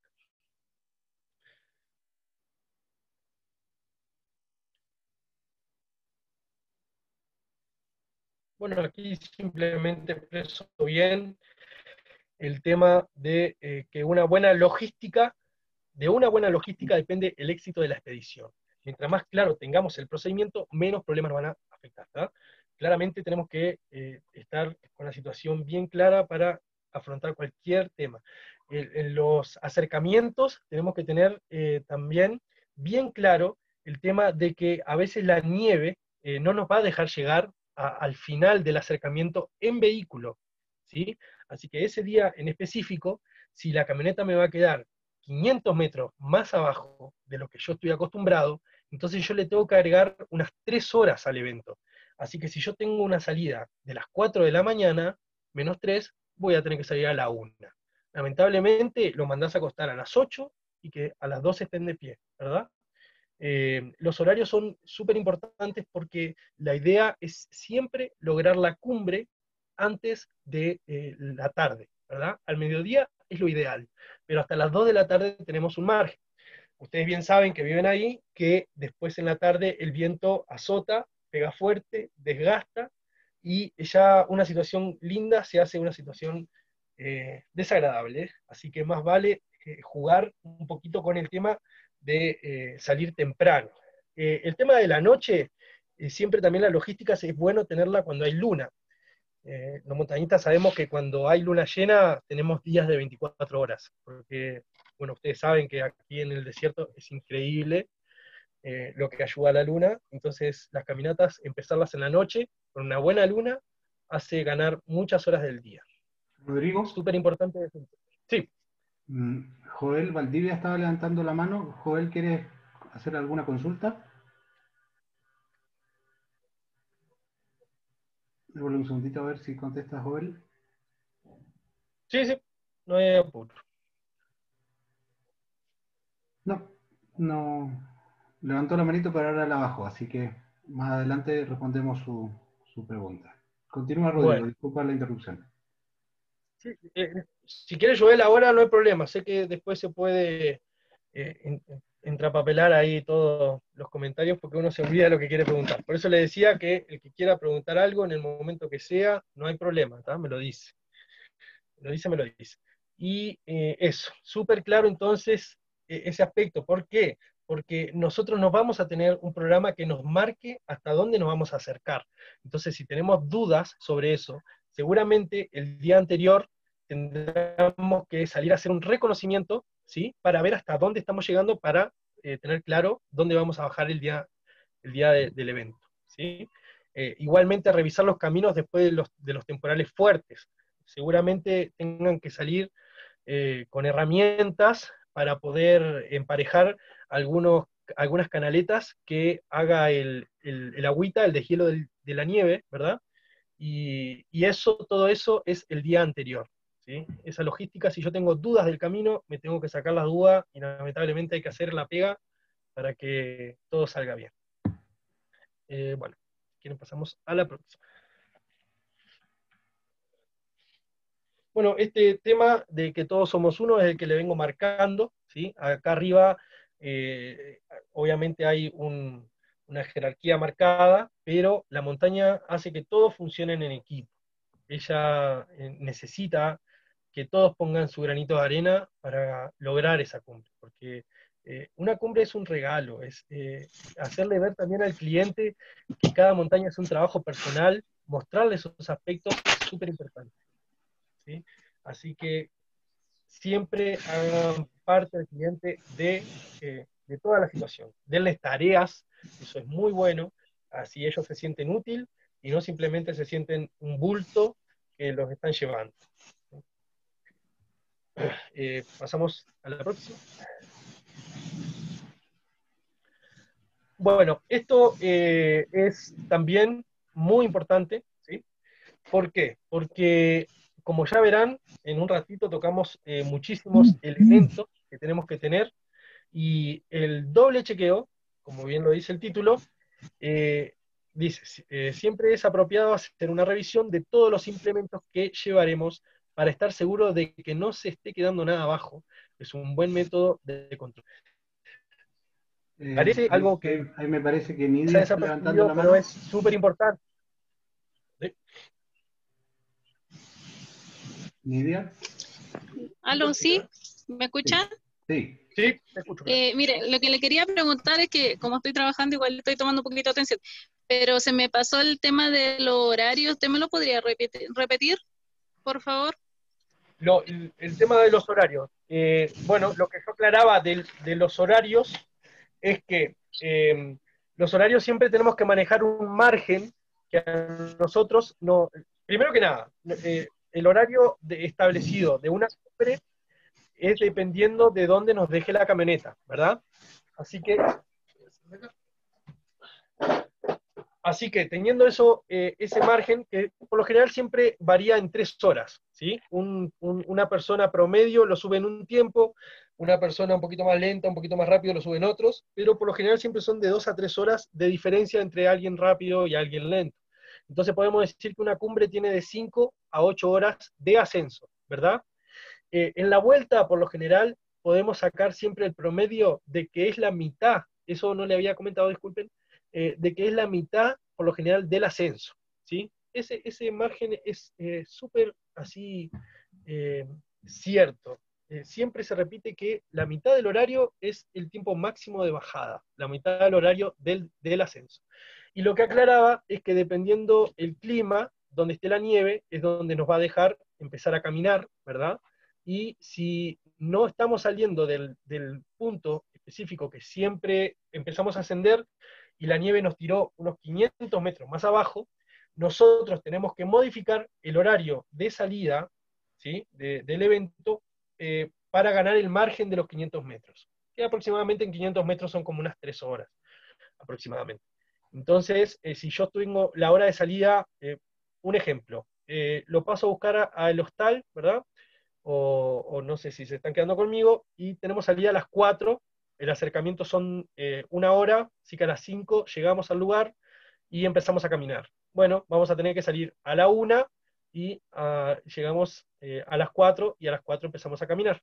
Entonces, siempre hay que mantener ese margen para respetar el horario de cumbre el horario de cumbre siempre tiene que ser antes de las 2 máximo, porque el tema del viento es un factor que pega fuerte, pega fuerte literalmente, eh, la persona se desgasta mucho y la situación se vuelve un poquito más incómoda. Entonces la gente ya lo deja de disfrutar. Más vale hacerlos ganar horas caminando en la noche, quizás, o con frontal, y eh, no exponerlos al viento, otra falencia. Eh, eso era lo que aclaraba un poquito con el horario, no sé si eh, te quedó claro. Sí, sí, muchas gracias. ¿Sí? Dale, ok. Buenísimo. Y bueno, el doble chequeo es, yo apronto todo, ¿verdad? Todo lo que tengo, o sea, como estamos viendo, tenemos eh, varios implementos ya, es muy probable que se nos pase algo. Imagínate, eh, llegás y no tenés guantes, ¿entendés? Bueno, eso es algo que se puede acomodar eh, a través de otra ropa, pero elementos como el oxígeno, elementos como unos buenos zapatos, es muy normal que se le queden zapatos a, las personas porque esperan a ponérselos arriba, cuando empiezan a cargar todo, medios dormidos, se les quedan cosas. Entonces, chequear, después que yo apronté todo, con mi lista, chequear que esté todo de vuelta, así me lleve una media hora más, pero yo voy a salir tranquilo el otro día. El equipo se apronta el día anterior y se deja con doble check el día anterior. Y ahí yo voy a levantarme tranquilo de que, la, de, que mi memoria no me va a jugar una mala pasada, ¿sí? Así que por eso, eh, después que yo tengo todo pronto, lista en mano y chequeo todo de nuevo. Ese es el doble check. Eh, Súper importante. Así que eso. Eh, pasamos a la próxima. Bueno, esto es un poquito lo que les comentaba también de eh, que el cliente no se sienta un bulto.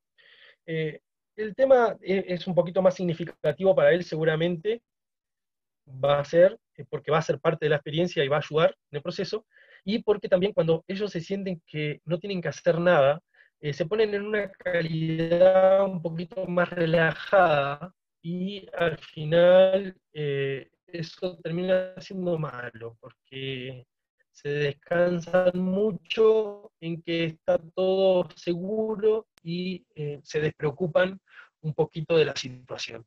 Entonces, hacer parte al cliente, hacerlo sentir que él eh, está ayudando en el evento es súper importante tarea para que el cliente se sienta más con en el evento y no solo que contrata un servicio, ¿verdad? siempre dejando claro que la última palabra la tendremos nosotros, el profesional a cargo. Eh, bueno, dejar de igual manera, de igual manera que en, dejar claro igual de igual manera que en el transcurso del evento el grupo no se puede separar y todos pelearán por igual para obtener la cumbre, ayudando al que más le cueste. Esto es eh, simple, eh, lo destaco más que nada porque siempre tenemos a este que, él se siente más fuerte, que, que, quiere más rápido, pero no, la acordada son todos juntos, nadie se te puede separar, nadie se te puede perder de vista, mucho menos, y eh, el tema psicológico que afecta a las personas que van quedando atrás es muy fuerte. Por eso siempre tenemos que ir al paso del más débil, ¿ok? Al que le cueste más, ese es el paso que vamos a seguir nosotros. Así sea eh, lentísimo, no, importa, pero esa persona es, es, la que marca el paso. Y a veces se te quieren ir, eh, voy un poco más adelante, esto, aquello, no, el grupo tiene que mantenerse unido, ¿sí? Y de ahí que destaco el tercer punto, que dice, es opcional pero conveniente siempre manejar un ayudante para derivar algún pasajero afectado y así que los que estén bien no pierdan la posibilidad de cumbre. De lo contrario, hacer saber al grupo que si uno se enferma, todos deben regresar. Eh, bueno, por lo general eh, uno va con chofer, ¿sí? El chofer queda abajo. Y, y, esto no sirve de mucho porque en realidad yo no voy a bajar con el cliente dejando todos los pasajeros arriba para después subir de nuevo, con el cliente afectado, ¿verdad? Eh, para subir de vuelta y guiarlos a, los que queden bien. No, el mejor procedimiento siempre es tener eh, una persona a la que tú puedas derivar un, cliente afectado. Y, es súper importante porque imagínense que este cliente que quedó afectado eh, perdió su cumbre por negligencia de él no sé, se tomó un vino, una cerveza la noche anterior, ¿ok? Se descompuso, se deshidrató y eh, por culpa de él, todos los que están, eh, todos los que hicieron bien el procedimiento, todos los que se cuidaron, van a perder la cumbre por culpa de él. Entonces, ¿cómo le explicas? Eh, bueno, primero que nada eso se tiene que explicar antes, ¿verdad? Si yo ya sé que voy sin, sin, sin un ayudante, yo tengo que explicarle a todo el grupo que si uno empeora, vamos a tener que bajar todos. Porque si se lo explicas arriba, eh, muchas personas se van a poner a discutir porque no van a querer perder su cumbre. Así que más vale anticiparse. Pero lo ideal es tener a alguien para derivar el cacho, como dicen.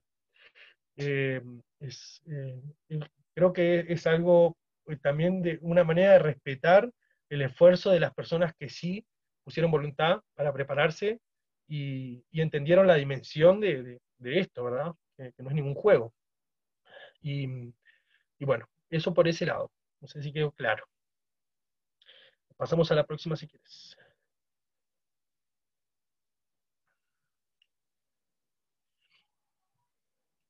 Bueno, eh, como les mencionaba hoy, los casos más frecuentes, los casos que ustedes van a aburrirse de ver, o sea que ya los van a manejar después con una cintura que, no, nos los va a preocupar porque son cosas normales, son estos.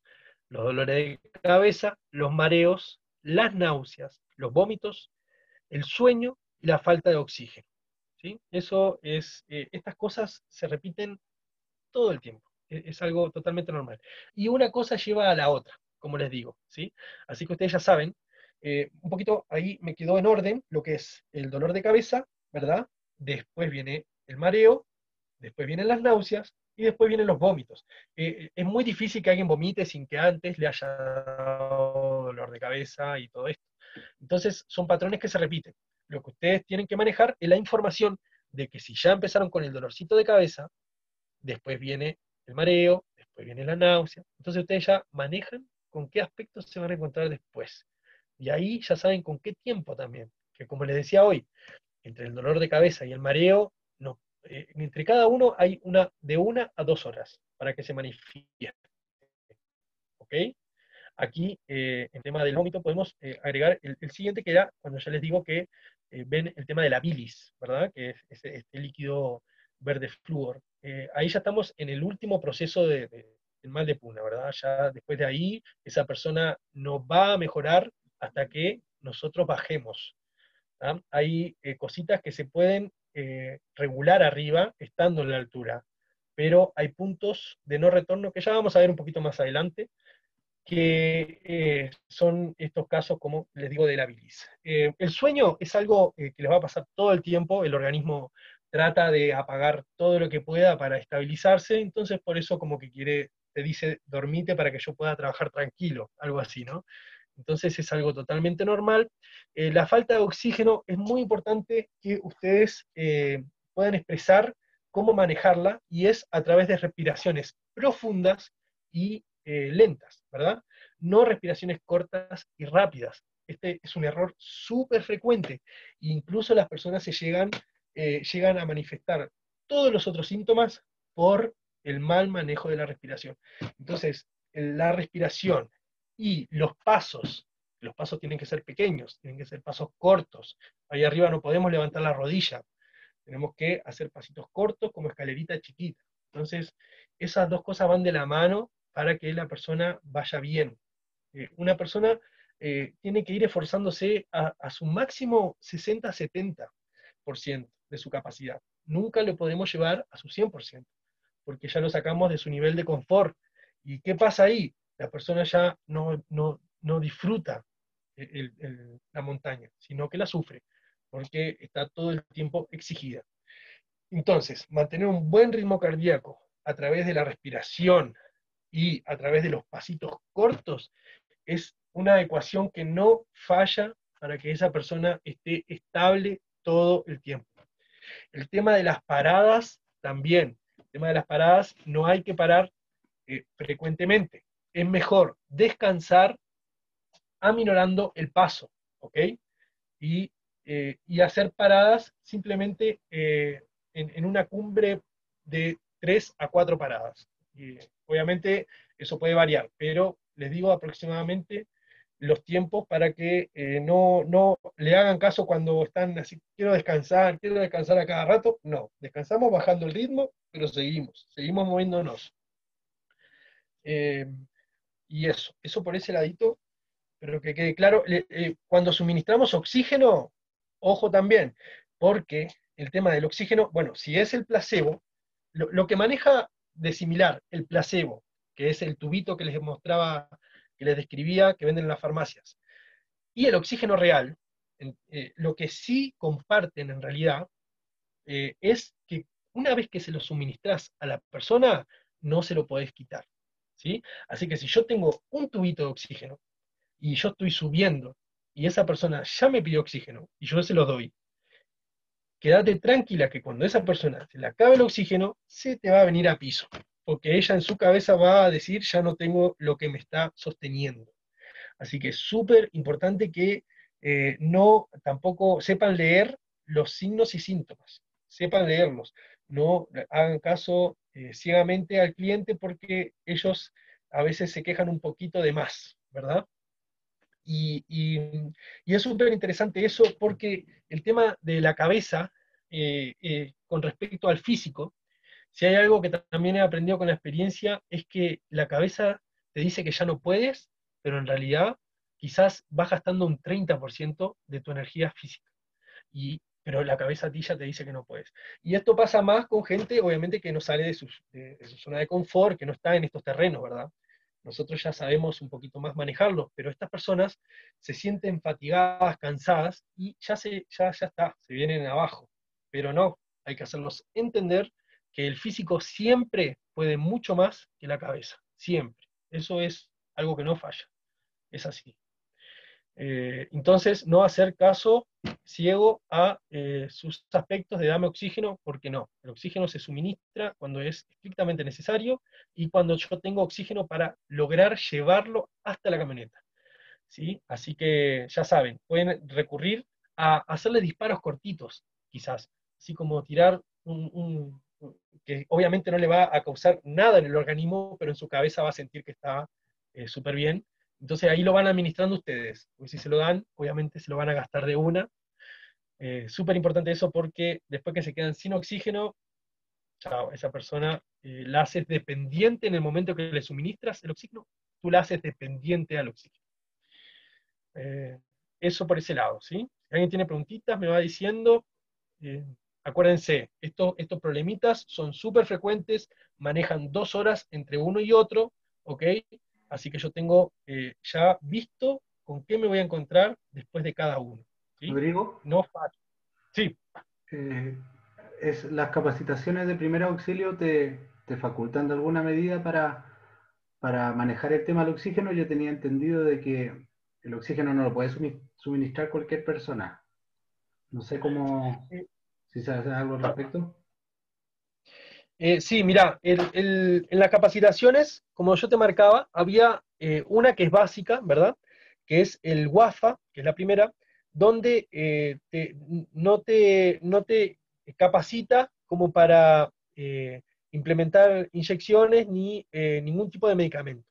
Al nosotros no ser profesionales de la salud, en realidad, en estricto rigor, nosotros no tendríamos que suministrar absolutamente ni una pastilla, ni un diclofenaco, ni un oxígeno, ni nada. ¿Por qué? Porque nosotros estamos actuando ante su organismo sin ser un profesional de la salud. Entonces, eso puede causar una negligencia eh, de parte nuestra en caso de que yo le dé un medicamento que a esta persona le afecte en vez de ayudarla. Entonces, em, en el WFR ya uno eh, tiene una capacitación donde puede inyectar intramuscularmente y eh, puede suministrar algunos tipos de, analgésicos que, no son, o sea, que son frecuentes, vamos a decir. pero el oxígeno en, realidad no, no te aclara nada de que puede llegar a ser malo. El aspecto malo del oxígeno es el que le acabo de dar. El aspecto malo del oxígeno es que cuando tú se lo das, lo haces dependiente de eso. Pero en los cursos no hay ningún problema con suministrarle oxígenos, eh, oxígeno a ningún, en ninguno de los dos en realidad. Te, aclaran eso. Eh, así que es una, es una herramienta que siempre podemos tener y, y, podemos claramente usarla sin problema de que les cause alergia, por ejemplo, que es lo que podría pasar si yo eh, recomiendo algún tipo de analgésico y justamente esta persona ni ella sabía quizás, es, termina siendo alérgica a esto y yo termino empeorando la situación. En ese, eh, eh, con el oxígeno esto no pasa. Entonces, estamos libres por ese lado. incluso en el otro curso uno aprende a colocar luxaciones, ¿verdad? De hombro, de codo, de muñeca, de, rodilla, y siendo que en el otro eh, eh, esos temitas no se tocan. En, el otro es bien básico, pero necesario. El, primer curso que les nombraba, el WAFA. El WFR eh, es bastante completo. Quizás si invierten en, es, en, el, en el WFR ya se estarían ahorrando el procedimiento de capacitación largo, vamos a decir. ¿Sí? ¿Todo bien? Sí, entendido. Eh, el tema de, las capacitaciones son súper importantes, particularmente en el tema de la alta montaña, porque como estamos viendo acá, es algo extremo, eh, donde uno está a cargo del organismo de otra persona, y por ese mismo motivo, mientras más preparado uno esté mejor. Y además que por ley también ya eh, las certificaciones de Cernatura, en fin, eh, se recomienda y te proteges también en caso de, de, desgracias, porque uno aplicó por lo menos y contaba con, con la y cumplía con la normativa. Entonces también hay que hacer eh, hincapié en eso, de que, bueno, la montaña está ahí, pero a lo mejor hay que pasar todo un proceso antes de poder efectivamente llevar turistas. Es distinto llevar turistas que subir uno solo también. Sí, sí, sí, totalmente. Eh, la verdad que uno como con experiencia ya entiende que cuando, por ejemplo, yo amo la montaña, como se lo he expresado, pero cuando voy eh, trabajando con personas a cargo, yo no disfruto la montaña porque todas esas personas dependen de mí. Entonces uno está tan pendiente de tener la situación bajo control que no da lugar, primero, a que te apunes. Es increíble, pero ya yo creo que ya no sé lo que es apunarse, porque en tu cabeza no existe la posibilidad, o sea, vos estás a cargo. Entonces, eh, yo creo que uno de, los factores de un buen guía, yo creo que es el hecho de que no, no está arriba de la situación y no lo, toma como una montaña recreativa, sino que entiende que esas vidas están a cargo de uno, como tú dices, así que es muy serio. Eh, y fíjate que el tema este de las capacitaciones es súper entretenido y no solo son teóricos, ¿eh? Mira que en los dos, eh, en, estas dos capacitaciones manejan aspectos eh, prácticos donde hacen simulacros de accidentes, ¿sí? incluso ellos tienen un, tema de maquillajes de herida, donde el procedimiento, por ejemplo, cuando yo me encuentro con una persona que se ha caído, lo primero que uno tiene que chequear son hemorragias, ¿verdad? Y estos chicos eh, tienen así como los parches de goma con el simulacro de una hemorragia. Entonces uno, y los tienen oculto, obviamente. Eh, ellos tienen actores, ¿verdad? Que, actúan ahí como personas heridas y, es súper entretenido porque te pone en la situación real, eh, entre comillas, ¿verdad? Porque estás físicamente con personas que están quejándose, los chicos gritan, eh, algunos eh, están como neuróticos, todos tienen sus papeles. Es eh, súper entretenido porque de verdad que hay una parte práctica que pone a prueba todo lo teórico que uno aprende y obviamente hay una evaluación. Estos, estos chicos no es solamente que vienen, capacitan y se van, sino que vienen, capacitan y te dicen quién es apto y quién no. Así que hay un filtro más allá de una capacitación. Y eso es eh, súper importante porque en, la teoría todos podemos ser eh, buenos profesionales, pero en la práctica, eh, que aquí es lo importante, es donde se ven los, los buenos, vamos a decir. Así que de verdad que es... Maribel está levantando la manito. Maribel, si gustas hacer tu consulta. Hola, buenas, buenas tardes ya. Buenas estoy totalmente segura que vamos, vamos a hacer la carta técnica. Porque eso va a ayudar harto.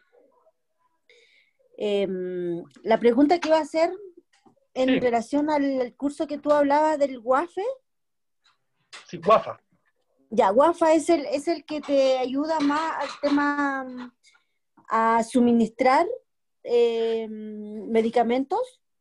No, no. Eh, el, las siglas WFR, el curso, ¿verdad? Eh, son las que eh, son las que las que te capacitan para suministrar, ¿sí? Eh, para suministrar, para acomodar luxaciones, para inyectar intramuscularmente, ¿sí? y tiene una práctica un poquito más seria, ¿sí? Ya. Pero, y, lo, bueno es que ustedes pueden contratar el WAFA y ellos lo adaptan para no hacerlos como la extensión del, del WFR, sino que eh, ya hacen los dos en uno. ¿sí? Mm. Si ustedes le dicen, quiero un WFR, el cual ya contenga eh, los cursos de WAFA, ellos simplifican y te hacen los dos cursos dentro de ese mismo porque obviamente hay cositas que se repiten en los dos, ¿verdad? Pero ellos, arman eh, uno como para que uno sin el primer curso pueda ya estar a la altura de salir eh, con la experiencia del segundo curso total. total. Mm. Entonces, eh, la verdad yo de, corazón les recomiendo que sea, quizá la inversión no va a ser mucho más y, y el curso va a estar mucho más completo eh, y, el contacto, se lo, no hay ningún problema, si quieren yo me puedo comunicar con Pedro, que es conocido porque estos cursos, de igual manera, es bueno que ustedes queden en contacto con la empresa, porque el WFR, que es el segundo que les estoy recomendando, dura eh, cuatro años, ¿ok? Eh, mm. El WAFA 2. Así que después de este tiempo se implementan nuevas técnicas, las cuales uno tiene que ir actualizando.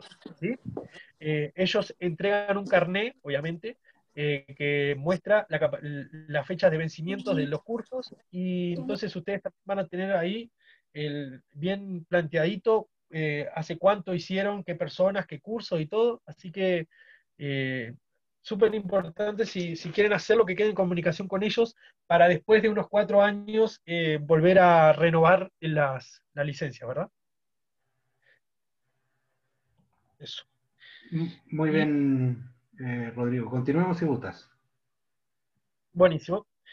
Eh, ok, por este lado entonces ya entendieron bien, ¿no? los aspectos en cadena que uno lleva al otro con una duración de dos horas aproximadamente. No se olviden de eso, porque eso le va a hacer manejar el tiempo que tienen hasta que esa persona quede incapacitada. ¿sí? Ok, entonces eh, seguimos con la siguiente.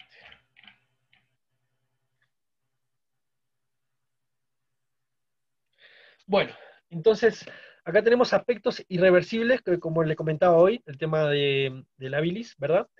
Eh, y hay algunos, cuando ya pasa de, devolver lo que tienen en, el estómago, de los vómitos, de ahí no podemos estabilizar al pasajero. Eh, ahí la única solución es bajar, ¿ok? Hay momentos en los que eh, ya estar ahí arriba lo único que hace es empeorar el estado del pasajero. Así que tengan claro esto. Si esta persona, nosotros estamos a los 5.000, 5.500 comidas, eh, por más que nosotros lo acostemos, lo sentemos, le, le tiremos aire y le demos comida, esa persona no se va a recuperar. Se va a en la de oxigenación en la sangre son irreversibles. Entonces, la única posibilidad de mejorar el estado de esa persona es bajando. ¿sí? Eh, por lo general, eh, las personas se encuentran bien hasta los, después que ya están en altura, hasta los 4.000, ¿sí? 4.000, 4.500. Entonces, llegar a estar a, 500, a 1.000 metros más abajo de las condiciones en las que tú ya estás con ese problema, va a ser lo suficiente como para ahí sí dejarlo un momento y que se estabilice. Pero ya les digo, no se va a estabilizar si lo mantenemos a la misma altura en la que se empeoró. ¿sí? Les leo esto un poquito. Dice, cuando las condiciones del pasajero llega a un punto de no retorno, solo queda bajar de 500 a 1000 metros para estabilizarlo, ya que es la única manera de que su organismo se recupere. En, caso, eh, en casos en que las señales ya nos muestren casos como por ejemplo el vómito de bilis que les comentaba, eh, es una clara señal de que esa persona ya no se pondrá, eh, no se repondrá mientras siga en altura. Eh, aparte de esto, también tenemos otros que son la falta de motricidad. Cuando esa persona viene chocando sus piecitos, ¿sí? esa persona ya no se va a recuperar. ¿sí? Ese es otro síntoma. Y entonces hay varios aspectos que nos muestran si son condiciones para mantener en altura y poder manejarlas o si inevitablemente tenemos que bajar eh, porque esa persona, ya les digo, que tiene un tiempo muy limitado para eh, quedar como peso muerto. Y ahí se nos va a complicar muchísimo, muchísimo eh, bajar a esa persona. ¿sí? una hipoxia no, disculpa, te interrumpí. Eh, eh, Félix Anza está levantando la mano, parece que quiere hacer una consulta, Félix. Buenísimo. Aló. Hola. ¿Me escucha? Sí, sí, sí. Eh, bueno, en primer lugar, saludarles a todos los, a todos los que están presentes. ingresé unos minutos atrasado al curso por tema de trabajo, pero me, disculpa con el que está relatando el curso, ¿cómo se llama? Discúlpame. Rodrigo Alzamendi, compañero. Uruguay. Hace unos 10 años que vivo aquí. Exacto. ¿Ya? Eh, mire, la, consulta que yo tengo en este momento es, según su experiencia, el tiempo que está trabajando, eh, en los traslados que tuvo hacia la montaña a los turistas o a las personas que usted trasladó hacia la montaña, ninguna de esas personas ha presentado, por ejemplo, hinchazón. Ya vi de los temas que tenían vómito, dolor de cabeza, pero ninguno ha presentado, digamos, hinchazón, botar sangre por la nariz eh, a medida que iban subiendo hacia la montaña. Eh, sí, sí, sí, por supuesto. El, eh, pero eso, por ejemplo, las hinchazones, el 90% de las veces son por la presión, ¿sí? son por la presión arterial. Eh, eso puede ser por un cambio de clima brusco, ya, sea, o eh, obviamente eh, por una baja baja cuando le suministramos un poquito de sal, ¿verdad? Lo para subirles un poquito la, la, presión. Y, y, el caso es eh, por lo general son también en la sal, ¿verdad? Tenemos otro tipo de sangrado que ya es cuando son eh, edemas avanzados, pero bueno, creo que es un poquito más específico y, poco casual eh, para tocar edemas, hipoxias y, ese tipo de cosas. No sé.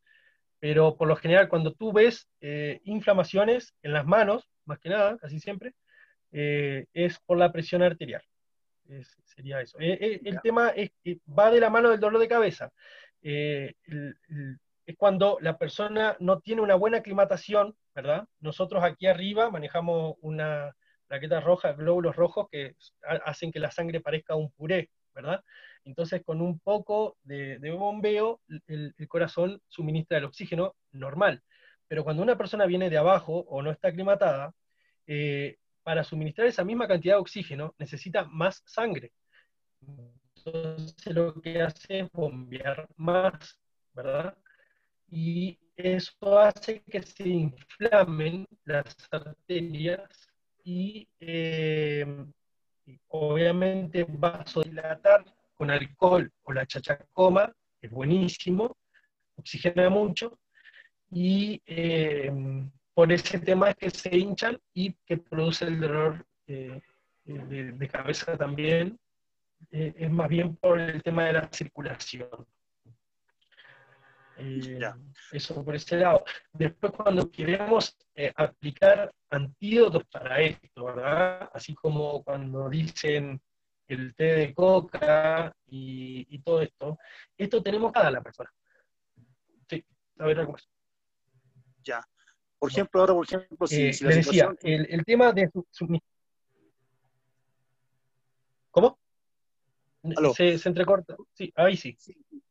Eh, por ejemplo, si esta persona se sigue empeorando, eh, ¿qué usted recomienda según su experiencia? ¿Bajarlo o, mantenerlo? Yo creo que según mi, mi, mi resolución mía, yo creo que esa persona no debería seguir subiendo hacia la cumbre porque yo creo que eso va a ir empeorándose. Independiendo de que le apliquemos todo lo que usted está diciendo, eh, yo creo que esa persona, en mi caso, yo a esa persona lo bajaría. Pero usted anteriormente dijo, si alguna, alguna persona de integrante del grupo presenta algún caso, eh, es bajarlo a todos, ¿no es cierto? Pero yo creo que eso podría ser, digamos, eh, en, por ejemplo, a ver, en vez de subir con, una, con un guía, tenemos, la camioneta, tenemos la camioneta abajo, en un, en un sector estacionado, en vez de subir con, con, un guía, deberíamos subir con dos guías en caso de, por ejemplo, no sé, pues si alguien se, se empeoró o no pudo seguir, bajar el, el, otro guía, el primer guía sigue con el resto para arriba y el otro guía yo creo que debería bajar a la camioneta porque porque yo creo, usted lo dice, que hay que bajar a todos y quedaron con las ganas de llegar a las cumbres del resto que, que posiblemente iban a llegar los restos personas. Entonces, pero a mí en esta, en esta situación me preocupa el tema del hinchazón, cuando empiezan a botar sangre. Porque según oh. nuestros abuelos, nuestros ancestros siempre nos han recomendado, cuando estamos subiendo a los cerros, decir, ya, si sienten, si se sienten algún problema, eh, ya no pueden respirar o hinchazones, o derrame sangre por la nariz, mejor bajen. ¿Ya? Entonces, por ejemplo, nosotros, yo te cuento una anécdota corto. sí, por eh, supuesto. Aquí, por ejemplo, Aucanquilcha, es un cerro eh, famoso de Puna. Nosotros estuvimos caminando más o menos cuando yo estaba estudiando en Calama, la enseñanza media. Caminamos desde cerca de Quiera Blanca, se llama un lugar se llama un lugar que se llama Chiglia. Caminamos tres personas, ya con mochila, hacia Oyagüe, cruzando por el volcán Miño, volcán Aucanquilcha. Entonces, eh, las tres personas eh, íbamos caminando con mochilas. Y nuestro destino era llegar a, a Oyagüe, pasando por el campamento azufrero de Amincha. Entonces, la única opción que teníamos para llegar en el día a, a Mincha o a Oyagüe era alcanzar, tomar los camiones que iban bajando a las 4 de la tarde de la, de la cumbre de la sufrera Ocanquilcha. Entonces, uno de los, de los caminantes, ¿me está escuchando, cierto? Sí, sí, por supuesto. Uno de los caminantes, que era menor de, edad, más, más, digamos, tenía más baja edad que nosotros, eh, íbamos subiendo más o menos como a la mitad ya del cerro Aucanquilcha, empezó a hincharse, hincharse las manos y las manos llegaron al extremo de, parecían guantes de bocoseo, los dedos ya no existían, ¿entiendes? Entonces, eh, a medida que íbamos subiendo, este niño empezó a hincharse y a botar sangre por la. Entonces, yo tomé las cartas en el asunto, le dije al otro compadre, ¿sabes qué? Dividamos la mochila del compañero y él que suba sin mochila, pero yo voy a tomar la delantera, alcanzar a, pedir auxilio y, y, por ejemplo, el otro le dije yo, usted sigue abajo, abajo, abajo, abajo, no suba muy arriba porque si sigue subiendo más arriba, este niño capaz que reviente y, y se vaya, ¿entendí? Entonces yo... Eh, mira, eh, para aclararte un poquito eso, cuando la hinchazón es eh, demasiado exagerada, seguramente él estaba teniendo un shock anafiláctico, que sería por una alergia de algo ingerido o algún, alguna planta que él pudo haber tocado, ¿sí? Como esas ortigas que hay a veces, que hay gente que son alérgica a esas ortigas. cuando la hinchazón es exagerada, seguramente es un tema de alergia, ¿ok? Que no he podido, así como no es mucho el tiempo, yo no puedo especificar bien, bien, bien, pero es buenísimo que lo hayas marcado, porque la leve hinchazón es la depresión, pero cuando tú comentas que eso queda como guantes, es un shock anafiláctico. Eh, sigue nomás con una anécdota, por favor. Claro, entonces yo llegué a la, cumbre, más o menos alcancé el último camión que iba bajando, lo hice parar, le pedí el favor que me esperara porque yo tenía que ir a buscar a otra persona que estaba con problemas y que había otra persona que venía con la mochila cargada, entonces el hombre me dijo que era horario, que estaba ya cumpliendo con su trabajo, pero yo le dije, ¿sabes que la persona viene mal? Entonces me entendió y yo bajé a buscar a la persona, porque la otra persona venía a, digamos, no, no subiendo, porque si seguía subiendo, a lo mejor hubiera pasado otra cosa. Pero alcancé a la persona abajo y con el otro niño más y lo subí para arriba, llegamos al camión. Y este compadre llegó ya, digamos, eh, sin habla, ¿ya? Llegó, se quejaba solamente. Claro, no, incluso el shock anafiláctico, lo más peligroso es cuando eh, le afecta la zona de la garganta y esa persona incluso eh, puede no respirar más, eh, que ahí hay que hacer eh, esa, e, ese corte que hay que hacer aquí en, en, la parte del cuello, ¿verdad? Ese, procedimiento que todos hemos visto en las películas, y si no, tener epidefrina para inyectarle intramuscularmente y que la inflamación baje. Eh, pero es súper peligroso, esa situación pudo haber terminado sin duda mucho peor. Claro, justamente, a eso lo quiero yo. Entonces, eh, cuando el, el, chofer del camión lo vio al, al, este, a este niño, ahí recién, recién me, ¿cómo te asiste? Me, le tomó el peso. Y lo subimos al camión y lo empezamos a bajar. A medida que íbamos bajando hacia el campamento de Amincha, a Sufero, increíble que este, este cabro empezó a, a deshincharse, a, a, bajar la hinchazón. Ya se le empezó a notar los dedos, todas las cosas, ¿entiendes? Y llegamos al campamento y ya empezó como, como, como nuevamente hablando un poco, y llegamos al campamento y de ahí ya el jefe de la, de la sección de la minera, eh, llegamos y le pasamos el dato y pescó una camioneta y directamente a la posta de Yagüe. Pero cuando llegó Yagüe ya llegó normal, llegó ya normal, podía hablar, se le tomó todas las, todos los, los signos de cómo estaba la presión, cómo estaban todas esas cosas en la posta, y ya llegó bien, impedirle que incluso la, de la, la, la, señorita que estaba en la posta, me acuerdo que era una tal Silvia, eh, ella no creía que lo que, lo que nosotros relatábamos, lo que contamos a ella, porque el hombre llegó bien. Así que ahí lo tuvo un rato de las cosas y después ya le pasó, se mandó a la casa, ¿entiendes? Pero importante, para mí es muy importante darlo a conocer esto a, a, a, los que están oyendo, están escuchando el curso, los cursos que te menciona, yo creo que sí tiene que hacerse y, tener la precaución porque sabemos que Aucanquilla es el cerro más alto aquí de la zona y pues seguido por el Doyahue, el volcán Yahweh. Entonces, si pensamos en, en, digamos, hacer tours a montaña, yo creo que teníamos que estar preparados para eso, porque no queríamos, como usted dice, que alguien por, por hacer una aventura le pase algo mayor y no llegue a su casa, ¿entiendes? Exacto. Entonces yo creo que es importante los cursos y, y, saber, y la gente que está queriendo ser, digamos, este, las personas que quieren ser, digamos, guía de turismo, yo creo que tienen que tomarle el peso y decir, yo voy a ser guía, pero tengo que hacer estos cursos, estas capacitaciones y ponerme al día, porque en realidad eh, es complejo el tema. Imagínate si alguien pasa algo. Fíjate que eh, lo, que mencionas también es súper importante y para mí eh, va de la mano de un buen procedimiento tener a alguien a quien derivar esa persona, ¿verdad? Que en, una, en una de las planillas a lo primero yo lo mencionaba, quizás eh, no, tuviste la oportunidad de, verla, pero lo recomiendo, recomiendo mucho porque, lo mismo que tú dices, que si una persona está mal, eh, pierde la cumbre todo el grupo, ¿verdad? Eh, por eso yo ahí mismo en, esa, en ese momento aclaré que esto se tiene que aclarar al grupo entero. Si yo voy a ir sin ayudantes, entonces si uno está mal, vamos todos para atrás. Eso hay que aclararlo antes porque arriba se te pueden poner un poquito de enojados los que están bien, ¿verdad? Pero fíjate también ahora que tú mencionas que eh, hay un aspecto que el que está, el que, al que nosotros derivamos eh, el, problema, ¿verdad? Ese chico, si tuviéramos un ayudante, él también, y más, incluso tiene que estar capacitado para mantenerlo estable, ¿viste? Entonces no simplemente tenemos que llevar a alguien para derivarlo, sino que tenemos que llevar a alguien capacitado para derivarlo. Es muy bueno que tocaste. eso es verdad. Es verdad eso.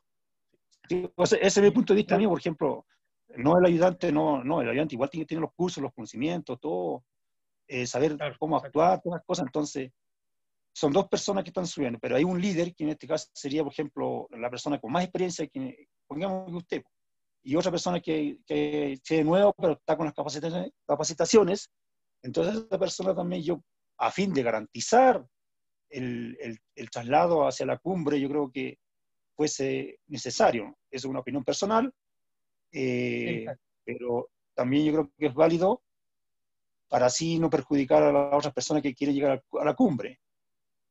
Eso sería una opinión Ahora que tocas ese punto. ¿Sí? Sí, sí. Eh, súper super linda eh, el ejemplo que pusiste. La verdad que maneja varios aspectos de los que uno se puede eh, presentar. Y, ahora que, que, me doy cuenta también es buenísimo, sería, ya que el grupo se está dividiendo en dos, manejar dos opciones de botiquín. también en las camionetas sería algo adecuado, ¿verdad? Una que tiene el guía en, camino y otra que esté en la camioneta para que la persona que derivamos esté también con los recursos ahí. Entonces, qué bueno que tocaste ese punto. Eh, bueno, en realidad eso lo quería dar a conocer a ustedes eh, y de verdad es importante todo lo que usted ha dicho. Bueno, desde el momento que yo me conecté, es, digamos, muy importante todos los pasos a seguir y ojalá nosotros acá tomemos las cartas, las cartas y para poder lograr eh, buenos, buenos eh, conductores de guías turísticos hacia la montaña o hacia mismo a otros lugares. Eso yo a usted le felicito que usted esté en este tema, digamos, eh, dándonos a conocer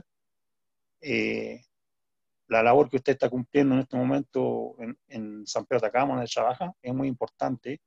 Gracias de verdad por darnos a su sabiduría, darnos a conocer a nosotros.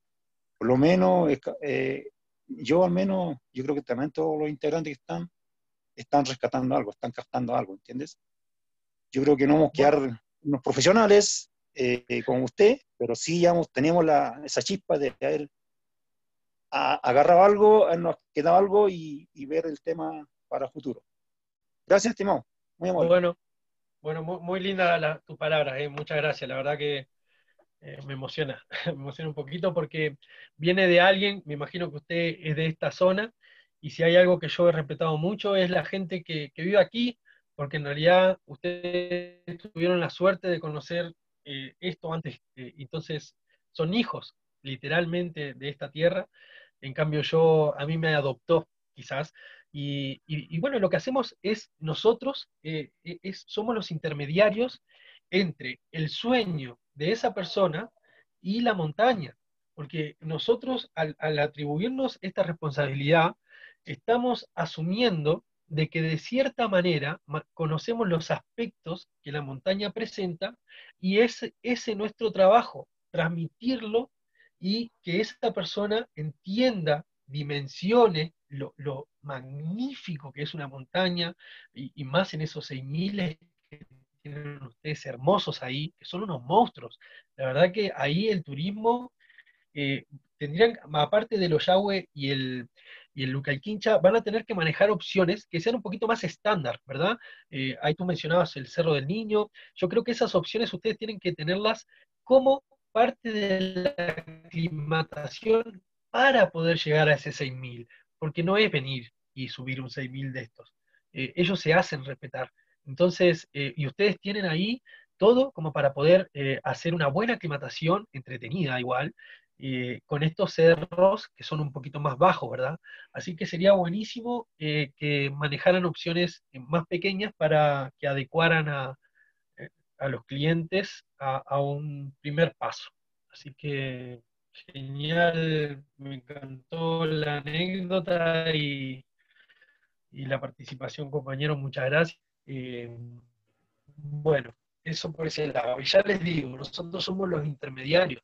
No hay que quitar el peso para que ellos lo cumplan. Siempre haciendo lo hemos hablado, y un más adelante está, ojalá nos dé el tiempo, que son los temas de los pagos, ¿verdad? Es increíble, pero la verdad que el pago yo he aprendido a respetarlo de una manera tan sagrada, porque, por ejemplo, a mí me tocó en el Yuyayaco, algunos lo conocerán, que es otro monstruo de por acá cerca, fuimos con cuatro amigos, y el cuento corto es que el primer día yo salí a dar una vuelta de aclimatación, me puse a llorar en el cerro, porque la verdad que a mí me emociona mucho cuando estoy ahí, eh, me siento muy conectado, y le pedí permiso. Cuento con Yaco por primera vez, eh, los cuatro, y sin conocer el camino. Y, yo lo atribuyo al pago y al respeto que yo le tuve cuando llegué, porque mis amigos quedaron, pero de verdad que yo salí a pedirle, como decía Vale, estos son tatas, son, son dioses, son, son padres, y ellos nos cuidan. Y, cuando estamos ahí en su falda, eh, estamos entregados a su merced. O sea, ellos si quieren, arman una tormenta y a nosotros, chao, nos borran. Así que eh, hay que entender eso y creo que es súper importante. Es difícil transmitirle y que la persona le tome el peso eh, de, los pagos, los clientes, pero es algo necesario el, aspecto psicológico es uno de los que marco un poquito más adelante. Así que si quieren, seguimos avanzando a ver si llegamos a eso. Pues también tengo unas ideas eh, de cositas que tendrían que implementar eh, dentro de Yahweh, eh, ¿cómo decirlo? un poquito más surtido de equipo para que no tengan que ir a conseguir cosas a, a, otro lado, ¿verdad? Y ustedes manejen todo lo que, lo que necesita esa persona y, ya que sea parte también del comercio. Por ejemplo, estaba pensando en, en, una tienda, ¿verdad? Donde ustedes puedan tener eh, inversión quizás de alguien particular eh, que quiera hacer un negocio o inversión de la misma comunidad. Eh, tendrían que tener una tienda donde puedan tener las opciones para que los clientes compren ropa, ya sería un ingreso para el pueblo, o renten ropa, y, accesorios como bastones, eh, todo ese tipo de cosas. Si quieren también les puedo hacer una lista cuando le entregue a Ramón todo lo que ya dije que iba a entregar, que son varias cosas, le puedo hacer una lista de los implementos que tendrían que tener sí o sí para, para una, eh, hacer un poquito más extenso el, tema de, las posibilidades de, de, adquirir cosas ahí y no tener que viajar para comprar algo, y también tener las opciones de rentar eh, porque hay mucha gente que no va a comprar, sino que va a rentar por un momento, y también nos desvinculamos de nosotros tener que equiparlos, ¿sí? Entonces, nosotros solo le marcamos lo que él necesita, esa persona va al local y ahí arregla con eh, esta otra persona, entonces nosotros nos liberamos ya de aspectos, ¿verdad? Y derivamos, y, y sería un ingreso más para el pueblo. Y ahí tengo un par de puntos más y al final se los voy a dar. Eh, bueno, a ver, aquí están los aspectos psicológicos, que son los que resaltaba. Eh, bueno, el, evento tiene, tiene un, un nivel de exigencia, como lo marcaba el compañero, es súper grande. El riesgo es súper grande. Y el respeto que hay que tener también. Así que sí o sí, nosotros tenemos que darnos el tiempo para que esa persona entienda, entienda a lo que va, entienda el esfuerzo que va a tener que hacer y entienda que va a tener que ir siempre con respeto. Y bueno, ese, ese procedimiento es un poco complicado porque ya les digo que las personas eh, a veces van por... Les juro que esas personas del volcán no las deja subir la retribución cuando uno eh, va con respeto a la montaña. ¿sí? Ahí mismo les, puse en el segundo punto de pedir permiso haciendo el pago a la tierra. En eso no me voy a meter. Eh, mi pago, ya les digo, es siempre un poquito de coca, de hojas de coca, y, y, el, y, el, más sincero sentimiento de decirle que yo estoy ahí para que él me, me, acoja y estoy a, su disposición, porque la verdad que no, no podemos eh, prometer cumbres que no dependen de nosotros. La cumbre nosotros tenemos el procedimiento para hacerlo, pero todos sabemos que la montaña se manifiesta y cuando lo hace no hay nada que hacer. Así que el permiso y es súper importante y esa parte se da hacer un permiso eh, bien hecho como se hace, porque sería súper lindo eh, mantener una tradición, que sería hermoso también, así que, bueno, ese sí o sí. Y ojalá que sea ahí mismo, ¿verdad? En el, en, en, el pie del volcán. Eh, aclarar que es un trabajo personal el proceso de ascensión y que no piensen en llegar a la cumbre. Esto es parte del aspecto psicológico, ¿por qué? Porque ellos a veces se todo lo maravilloso que tienen a su alrededor y como niños que les dije hoy que son ahí arriba, hay que hacerles entender, a ver, déjate de ir con la cabeza para abajo, mirá lo que tenés acá, disfrutá el camino. En las paradas uno puede ir diciendo, bueno, ahora vamos a ir hasta ese lado, y esa va a ser nuestra cumbre, para que ellos se desvinculen de la cumbre real y puedan disfrutar un poquito más el, el tiempo presente, ¿verdad? y no simplemente agachen la cabeza y caminen como, como caballo arriba. Entonces, eh, es, bueno manejar ese aspecto psicológico de ellos, haciéndolo ver que disfruten eh, cada paso. Y después tenemos tener en cuenta que estamos siendo intermediarios entre el sueño de subir una montaña de esa persona y nuestra entrega eh, tiene que ser. Bueno, el aspecto que les decía, no hay que no, hay que estuvo años eh, planificando ir a Oshawé para subir ese 6000. Eh, entonces, de nosotros depende el éxito de esa persona, porque el procedimiento lo manejamos. Y era lo que iba hoy primero. No le podemos decir a alguien de Santiago que viene dos días que va a subir un 6.000, porque es una mentira, es un, 50% de mentira eso. Entonces, eh, el procedimiento tiene que ser adecuado al desafío, no de vuelta. Y eh, ese sueño de esa persona, ya que es un proceso súper largo, tiene que tomarse el tiempo apropiado también eh, para, poder lograrlo, ¿verdad? Hay que hacerlos conscientes de eso. No hay que simplemente agarrar el trabajo para, cobrar y, que sea lo que Dios quiera. Hay casos súper feos acá. Yo la verdad que me, he cruzado... Eh, ahí arriba la montaña hace que las personas cambien un poco es lindo eso que les mencionaba también del trabajo personal. Yo, la verdad que cada vez que voy a una montaña, eh, reflexiono cosas que me han hecho entender que cada montaña ha sido un trabajo personal. Ha sido un momento en el que yo eh, pulo un poquito más mis aspectos eh, personales, profesionales quizás también. Tomo decisiones en la montaña, porque es un momento en el que yo tengo un buen lapso como para, para pensar bien las cosas, ¿verdad? Y, de verdad, eso es lo que hay que tratar de transmitir. No simplemente tiene que ser un desafío físico, tiene que ser un trabajo personal. Cada montaña es un trabajo personal y eso es así. Y el que no lo vio así, qué lástima, porque la verdad que está perdiendo un psicólogo gratis, que sería, sería eso. Creo que es la última gráfica esta, Cristian. A ver.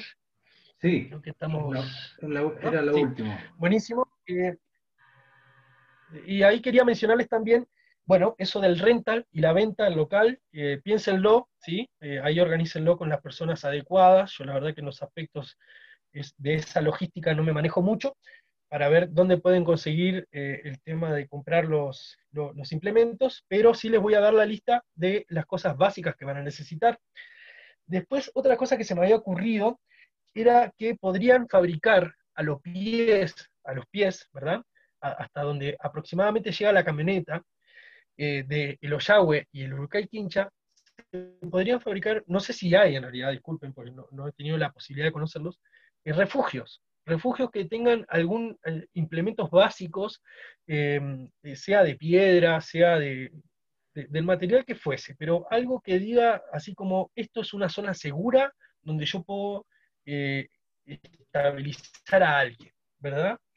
sería súper bueno que, que, pudieran hacerlo da, una sensación de, seguridad, tener un refugio en la montaña, se pueden hacer muchísimas cosas, eh, incluso hay lugares donde eh, le implementan camas y pueden pasar noches ahí, donde el refugio sea un poquito más grande, y creo que eso vendría de la mano de esto VIP que quieren para Oshawé, que seguro lo tienen, eh, tienen todo el material para hacerlo, y sería un implemento que sería muy destacado.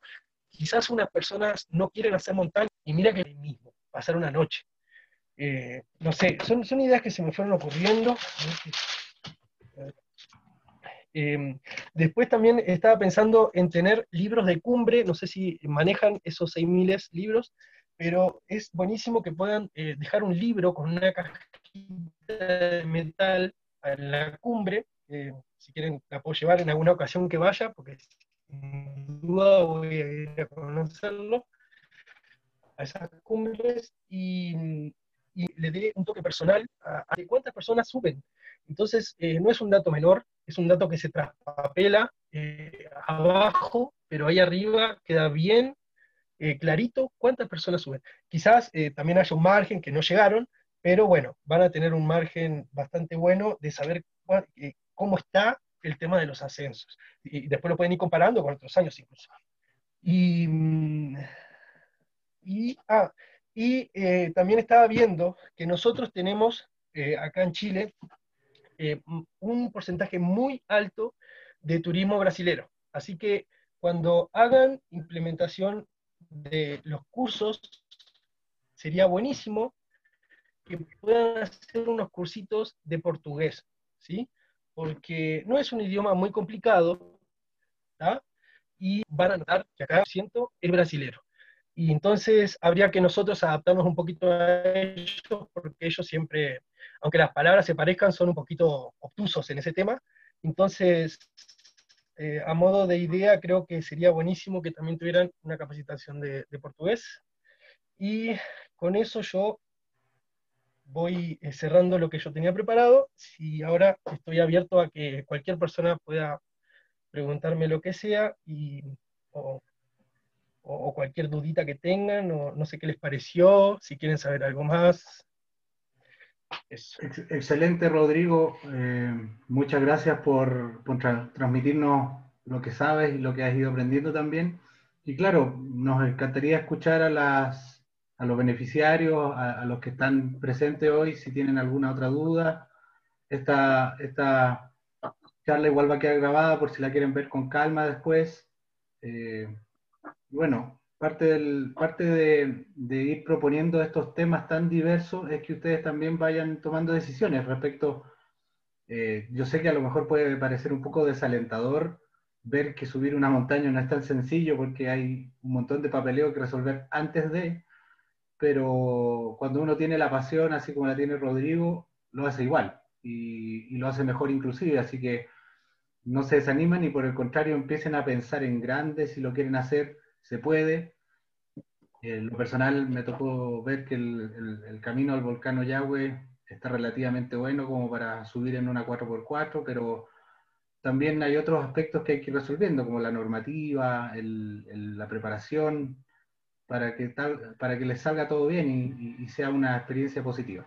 No sé si hay alguien que quiera eh, consultar, levantar la manito, preguntar. y, y también una cosita eh, sobre, sé que estos cerros son ceremoniales, así que sería buenísimo también que ustedes marquen esa zona para que las personas no vayan a interferir con esos lugares, porque seguramente haya mucho material lítico que ustedes quieren eh, dejar así, así que tengan cuidadito con eso, porque seguramente así como va el turismo formal, que lo estamos filtrando nosotros, va a ir un turismo informal que, la verdad que no vamos a estar ahí para, para controlarlos. Ahí Maribel está levantando la mano. Maribel, si gustas, activa tu micrófono.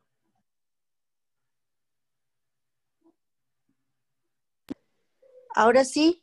Sí. Em, sí, en realidad el camino está relativamente bueno, eh, pero sería bueno, una de las cosas que se pueden ir trabajando a futuro con arreglar el camino y con hacer esta, la conectividad que hablábamos nosotros, que igual la municipalidad podría apoyar o, o, algún ente de, gubernamental para poder arreglar el camino. Tampoco hay señalética, no hay señalética eh, donde indique, por ejemplo, hasta dónde puede llegar el vehículo. Nosotros llegamos hasta pasado el campamento Santa Cecilia a 5.800 llegamos en vehículo. Y, el, y ahí tampoco hay, existe señalética, tampoco existe un, un espacio donde uno podría registrarse. Em, estuvimos con tu colega eh, Rodrigo, con tu colega Cristian Vulcano, Ah, mira, mira qué bien. Sí, Tuvimos cuatro días con él, estuvimos haciendo hartas cositas y con él subimos al volcán Oyagüe. Llegamos a la Fumarola. Un excelente profesional, Cristian, muchos años acá. Llegamos, subimos como, subimos 13 personas de Oyagüe y llegamos 12. y mm, sí, no, aprendimos harto también con Cristian, hartas cositas las que tú hoy día mencionaste. Eh, claro, nosotros ya estamos haciendo cosas más domésticas para ir motivando a las personas, eh, a las chicas o a los chicos que de Oyahue que quieren iniciar con el turismo. Eh, bueno, todo en relación ya a la normativa legal, ya cuando uno empieza a trabajar y vender, ya es otro tema, pues ahí ya hay eh, todo lo que tú indicaste hay que llevarlo, hay que hacerlo. sí, al pie de la letra, porque una persona arriba le pasa algo. No, bien, bien. Me, me... Hay varias cosas que en realidad hay que hacer. Hay que hacer, mejorar. Y, y lo importante es arriba, yo le decía a las chicas, arriba, arriba en la cumbre se cumplen los sueños. Y llegamos, llegamos. Llegamos todas. Em, y bien, bien, sí, bien. Saludo igual a, tu, a ti. Chao. Bueno, Muchas, muchas, gracias y qué lindo que hayas tenido la oportunidad de, hacer una cumbre tan hermosa como esta. Sí, muy bien. Empezamos en el Toco, sí, pues en el Toco. Exacto, ¿ves? Después la Kimal, porque igual la idea es ir subiendo de a poco, pues 3.000, 4.000, después llegar a 5.006, 6.002. 8000, ah, no, no creo tanto, pero el Yuya y Yaco es un desafío, pero bueno, ojo del salado, el ojo del salado. Sí. Claro. Pero viste que el ojo del salado mantiene una condición similar a la del Oyagüe porque tiene un acercamiento bastante grande. Imagínate que en los ojos del salado llegás hasta los 6.200 en vehículo. Mm, Imagínate, oh. tenés que caminar solo 600 metros. Claro. Y aquí también pero fíjate que nosotros llegamos a los 5.800, eh, 5.000, perdón, 6, 6 y algo, pero caminar el restante, que eran 200 kilómetros, pero es, uno dice 200, pero increíble, se demora muchísimo, demoramos casi cuatro horas. Claro, es que otro aspecto también que es súper importante es que cuando uno empieza de abajo, llega arriba con buenos pulmones, pero cuando te bajas ahí arriba y empezás a caminar, es muy probable que alguno se te desestabilice también. Entonces, a veces no es bueno llegar hasta lo más que se pueda, sino que eh, largarlos de un poquito más abajo. Claro. Lo, importante, me decía Cristian, asegurarle la cumbre, que eso es lo que, lo que más uno busca, eh, eh, la cumbre. Porque igual, igual, igual, nosotros tuvimos, una, tuvimos una discusión ahí con las chicas, porque, oye, vayamos caminando desde Ollagüe para, para la Fumarola, y todo, bueno, lo preparamos sí harto, estuvimos conversando una noche antes, lo, hicimos bien, y, hablábamos de caminar desde Ollagüe, pero yo le decía, no, bueno, Cristian ayudó algo, no, pues al final aquí lo que hay que asegurar es la cupre, y nosotros ya, ya dormimos una noche en Ollagüe eh, ya lo estamos, bueno, aclimatados y una noche dormir en Oyagua a 3.000 también sirve harto. Entonces, eh, llegar en vehículo hasta donde más se pueda, después caminar. Mira, la, diferencia en ese aspecto que, he aprendido es que es como todo en la vida. Si a vos te cuesta, la verdad, el, el significado de la recompensa va a ser mayor, ¿verdad? Y, la verdad que un volcán es increíble la recompensa que te da cuando uno lo sube totalmente. Quizás sea porque el esfuerzo es mayor y uno le dé más significado a la cumbre. Pero la diferencia entre, si, ustedes solo querían ver el aspecto de la cumbre, eh, está perfecto que lo hayan hecho en esa modalidad. Pero si quieren ver un aspecto eh, en sentir lo que el volcán tiene para ustedes, ahí los invito a que en algún momento los hagan desde abajo y van a ver las lágrimas, las lágrimas que le va a sacar esa cumbre. Claro, sería desde abajo dormir en, el campamento Santa Cecilia y después el otro día continuar el... Exacto, atacar. Sí, sí, atacar, claro. Bueno, gracias, muy amable y muy interesante tu, tu presentación. Qué bueno ser de utilidad, muchas gracias, muchas gracias. Bueno, eh, ahí ya, por lo que veo, tienen harto camino avanzado, Maribel. Eh, si gustan, también ustedes pueden compartir eh, la experiencia de lo que han hecho con nosotros a la hora de, armar la página web que está comprometida dentro de este proyecto, porque hay trabajo ya. Estábamos reflexionando hoy día con, uno de nuestros colaboradores, con Rodolfo, de que ustedes ya han pasado por estos procesos previamente y, y si es así, entonces ayúdennos también a saber en qué punto están para efectos de poder eh, ayudarlos con, con, las herramientas que vamos a tener disponibles. Por ejemplo, el tema del video. Yo estuve haciendo unas tomas de dron ahí en, en el campamento Santa Cecilia, eh, que les pueden ayudar de alguna forma a construir el relato de, de la subida a los Eh, Mira, lo único que, claro. hay que también cumplir la normativa y trabajar muy bien el tema de los protocolos, del, del procedimiento del que habla eh, Rodrigo, pero si ustedes tienen, a lo mejor ya tienen mucho de eso avanzado, también eh, cuenten con nosotros para ayudarles a, avanzar en ese proyecto. Mira, yo lo, yo lo que creo y me he convencido eh, a lo largo de este año que en realidad el COVID, como decía anteriormente, ha traído estrago, pero al final igual ha sido un año y medio que hemos estado reclutados en nuestro espacio y al final eh, estamos viendo la, la, naturaleza, en realidad alrededor de nuestro pueblo de otra forma. Y eso por lo menos a mí me ha, eh, eh, me ha indicado varios, varias alitas que tenemos que ir superando. Y estoy, me he convencido de que la actividad turística es una de las actividades económicas que todos, todos, pero todos van a ganar, de alguna u otra manera es una actividad eh, que el que quiere, el que quiere eh, eh, em, hacer cualquier diferencia o cualquier actividad, lo más mínima que sea o lo más alocada que sea en el turismo, lo va a ganar. también he tenido la oportunidad de ver varias cosas y, sé que es una de las actividades y me he convencido que todo, hay personas obviamente que están más avanzadas que otras en Oyagüe, pero no, yo creo que esta es una de las actividades que todo, todos, todos van a ganar de alguna otra forma. Em, eso, eh, yo, bueno, siempre he estado eh, entusiasmando a las chicas, a los niños, para que participemos en varias cosas, eh, haciendo, bueno, ahora tenemos una actividad que la vamos, bueno, la próxima semana voy a ir a hablar con Janet para organizar una cicletada, un mountain bike en altura, buscar una ruta, Eh, al final todo esto es un tema más doméstico, más de, entusiasmar, más de hacer actividades recreativas con la gente de Oyagüe, para después ir armando cosas más ya eh, em, más relevantes, más para después promocionarla y poderlas vender, si esto igual cuesta, no es llegar y, y, vender, eh, hay, que hacer alto trabajo por, por detrás en realidad.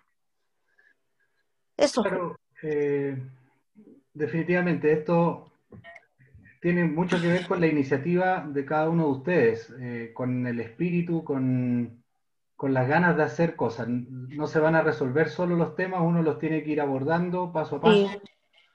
Y de todas maneras, yo creo que están en un súper buen escenario. Eh, también conversábamos hoy día de que a lo mejor, y hay que empezar a pensar en, en el largo plazo, a lo mejor el primer evento que ustedes puedan hacer o empezar a ofrecer los paquetes de servicio para enero del próximo año, ya pensar a un año plazo, porque no va a suceder de la noche a la mañana que, les va a empezar a llegar gente. Hay un trabajo de salir a, conversar, a salir a mostrar, ustedes mismos generar un efecto de demostración con lo que están haciendo, eh, para que también la comunidad empiece a sentir la confianza de hacerlo. También ustedes siendo comuneros ahí, siendo vareños, igual tienen hacer al resto de la comunidad de que se puede, que es bueno. Así que es una recomendación. Nidia Cruz está levantando la manito. Nidia. Eh, hola, sí, mire, eh, tenía una pregunta. Eh, en cuanto a la, la, mm, ¿cómo se llama? La hidratación, cuando uno está en ascenso, ¿cada cuánto es más o menos? Y mira, lo ideal, ideal, así como lo perfecto, sería 200 ml cada 15 minutos. ¿Sí? Eso sería lo ideal. Obviamente nadie lo hace. Así que eh, eso mismo, hacelo el doble cada media hora y ahí tenés un promedio que la gente va a poder adquirir. O sea, medio litro a cada 40 minutos sería un estándar eh, muy bueno. Eh, igual te digo, eh, no lo hacen, no llegan ni, al medio litro en la hora, porque la sensación de frío hace que ellos no sientan, no, tomen agua, y, y, el error más grande es siempre esperar a tener sed. Y la C es el primer síntoma de la deshidratación. Cuando yo ya tengo C, ya comencé un proceso de deshidratación. Así que es antes que yo tengo que ir hidratándome. Pero como te digo, eh, es muy difícil que los clientes te sigan al pie de la letra. Y siempre más agua que cualquier otra cosa, ¿sí? Porque si yo tomo más de un, Gatorade o más cosas de esas, voy a estar dándole eh, estos pigmentos de colorante al organismo y esos son los que me van a desestabilizar después. Así que eh, siempre el factor principal, agua. Ah, ya, muchas gracias. Igual súper interesante el curso y todo. Eh, aprendí harto. Lo que sí me falta, por ejemplo, lo otro anteriores, porque eh, no tenía información, porque no sé, no, no lo compartían, no, no sé, pero ahora como compartieron esta vez, pude acceder. Y muy interesante, gracias. Dale, buenísimo. Están quedando grabados los módulos igual, Nidia, así que vas a poder ponerte al día también. Eh, sí, sí, sí, lo estaba viendo ahora, como le digo, como me apareció este curso, entonces lo otro me aparece. Entonces ya los tengo ya guardados y todo para poder eh, eh, verlo. Estupendo, muchas gracias. ya ¿Hay alguien más que quiera intervenir? Si no, Ramón estaba levantando la manito por ahí. ¿Hay alguna otra persona, beneficiario, que quiera decir algo?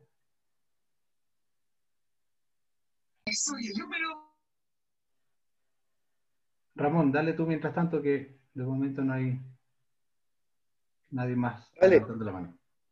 Muchas gracias, Cristian. Bueno, agradecer eh, a Rodrigo por su gran exposición, por su gran profesionalismo y por indicarnos, bueno, todos los elementos básicos que debemos tener en consideración al momento de querer ejercer esta actividad. Bueno, en nombre de nuestro alcalde, Carlos Reigada, y nuestro alcalde subrogante, Jorge Berrío, agradezco a cada uno de los participantes que han asistido hoy día. Y como bien lo decías, Cristian, recordarle a todas las personas que estos cursos están siendo grabados y están siendo subidos a nuestra fanpage de la Oficina de Turismo en Facebook. Si ustedes buscan Oficina de Turismo Yahweh, les sale la página y ahí van a estar todos los cursos subiéndose en la semana. También invitarlos que esta semana tenemos los cursos de guía de turismo, pero las próximas seguimos con aquellos de restaurante, de establecimientos de alojamiento turístico y de artesano, así que están todos cordialmente invitados. Eso por mi parte, Cristian, muchas gracias.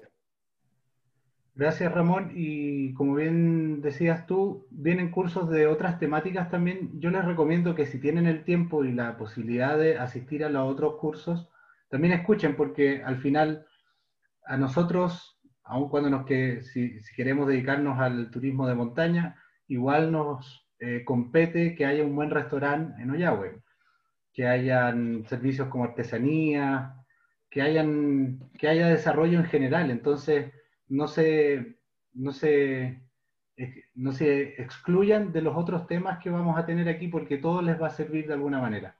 Eh, eso es lo que les puedo decir por ahora. Y entonces, si no hay nadie más que esté levantando la manito, vamos cerrando. Eh, agradecemos nuevamente y nos vemos mañana con otro eh, curso, con otro módulo que vamos a estar avisando en el transcurso de la mañana. Gracias, Ramón. Gracias a todos. Buenas noches. Gracias, buenas noches. Buenas noches, ya, Chao, nos vemos, que estén bien. Buenas noches.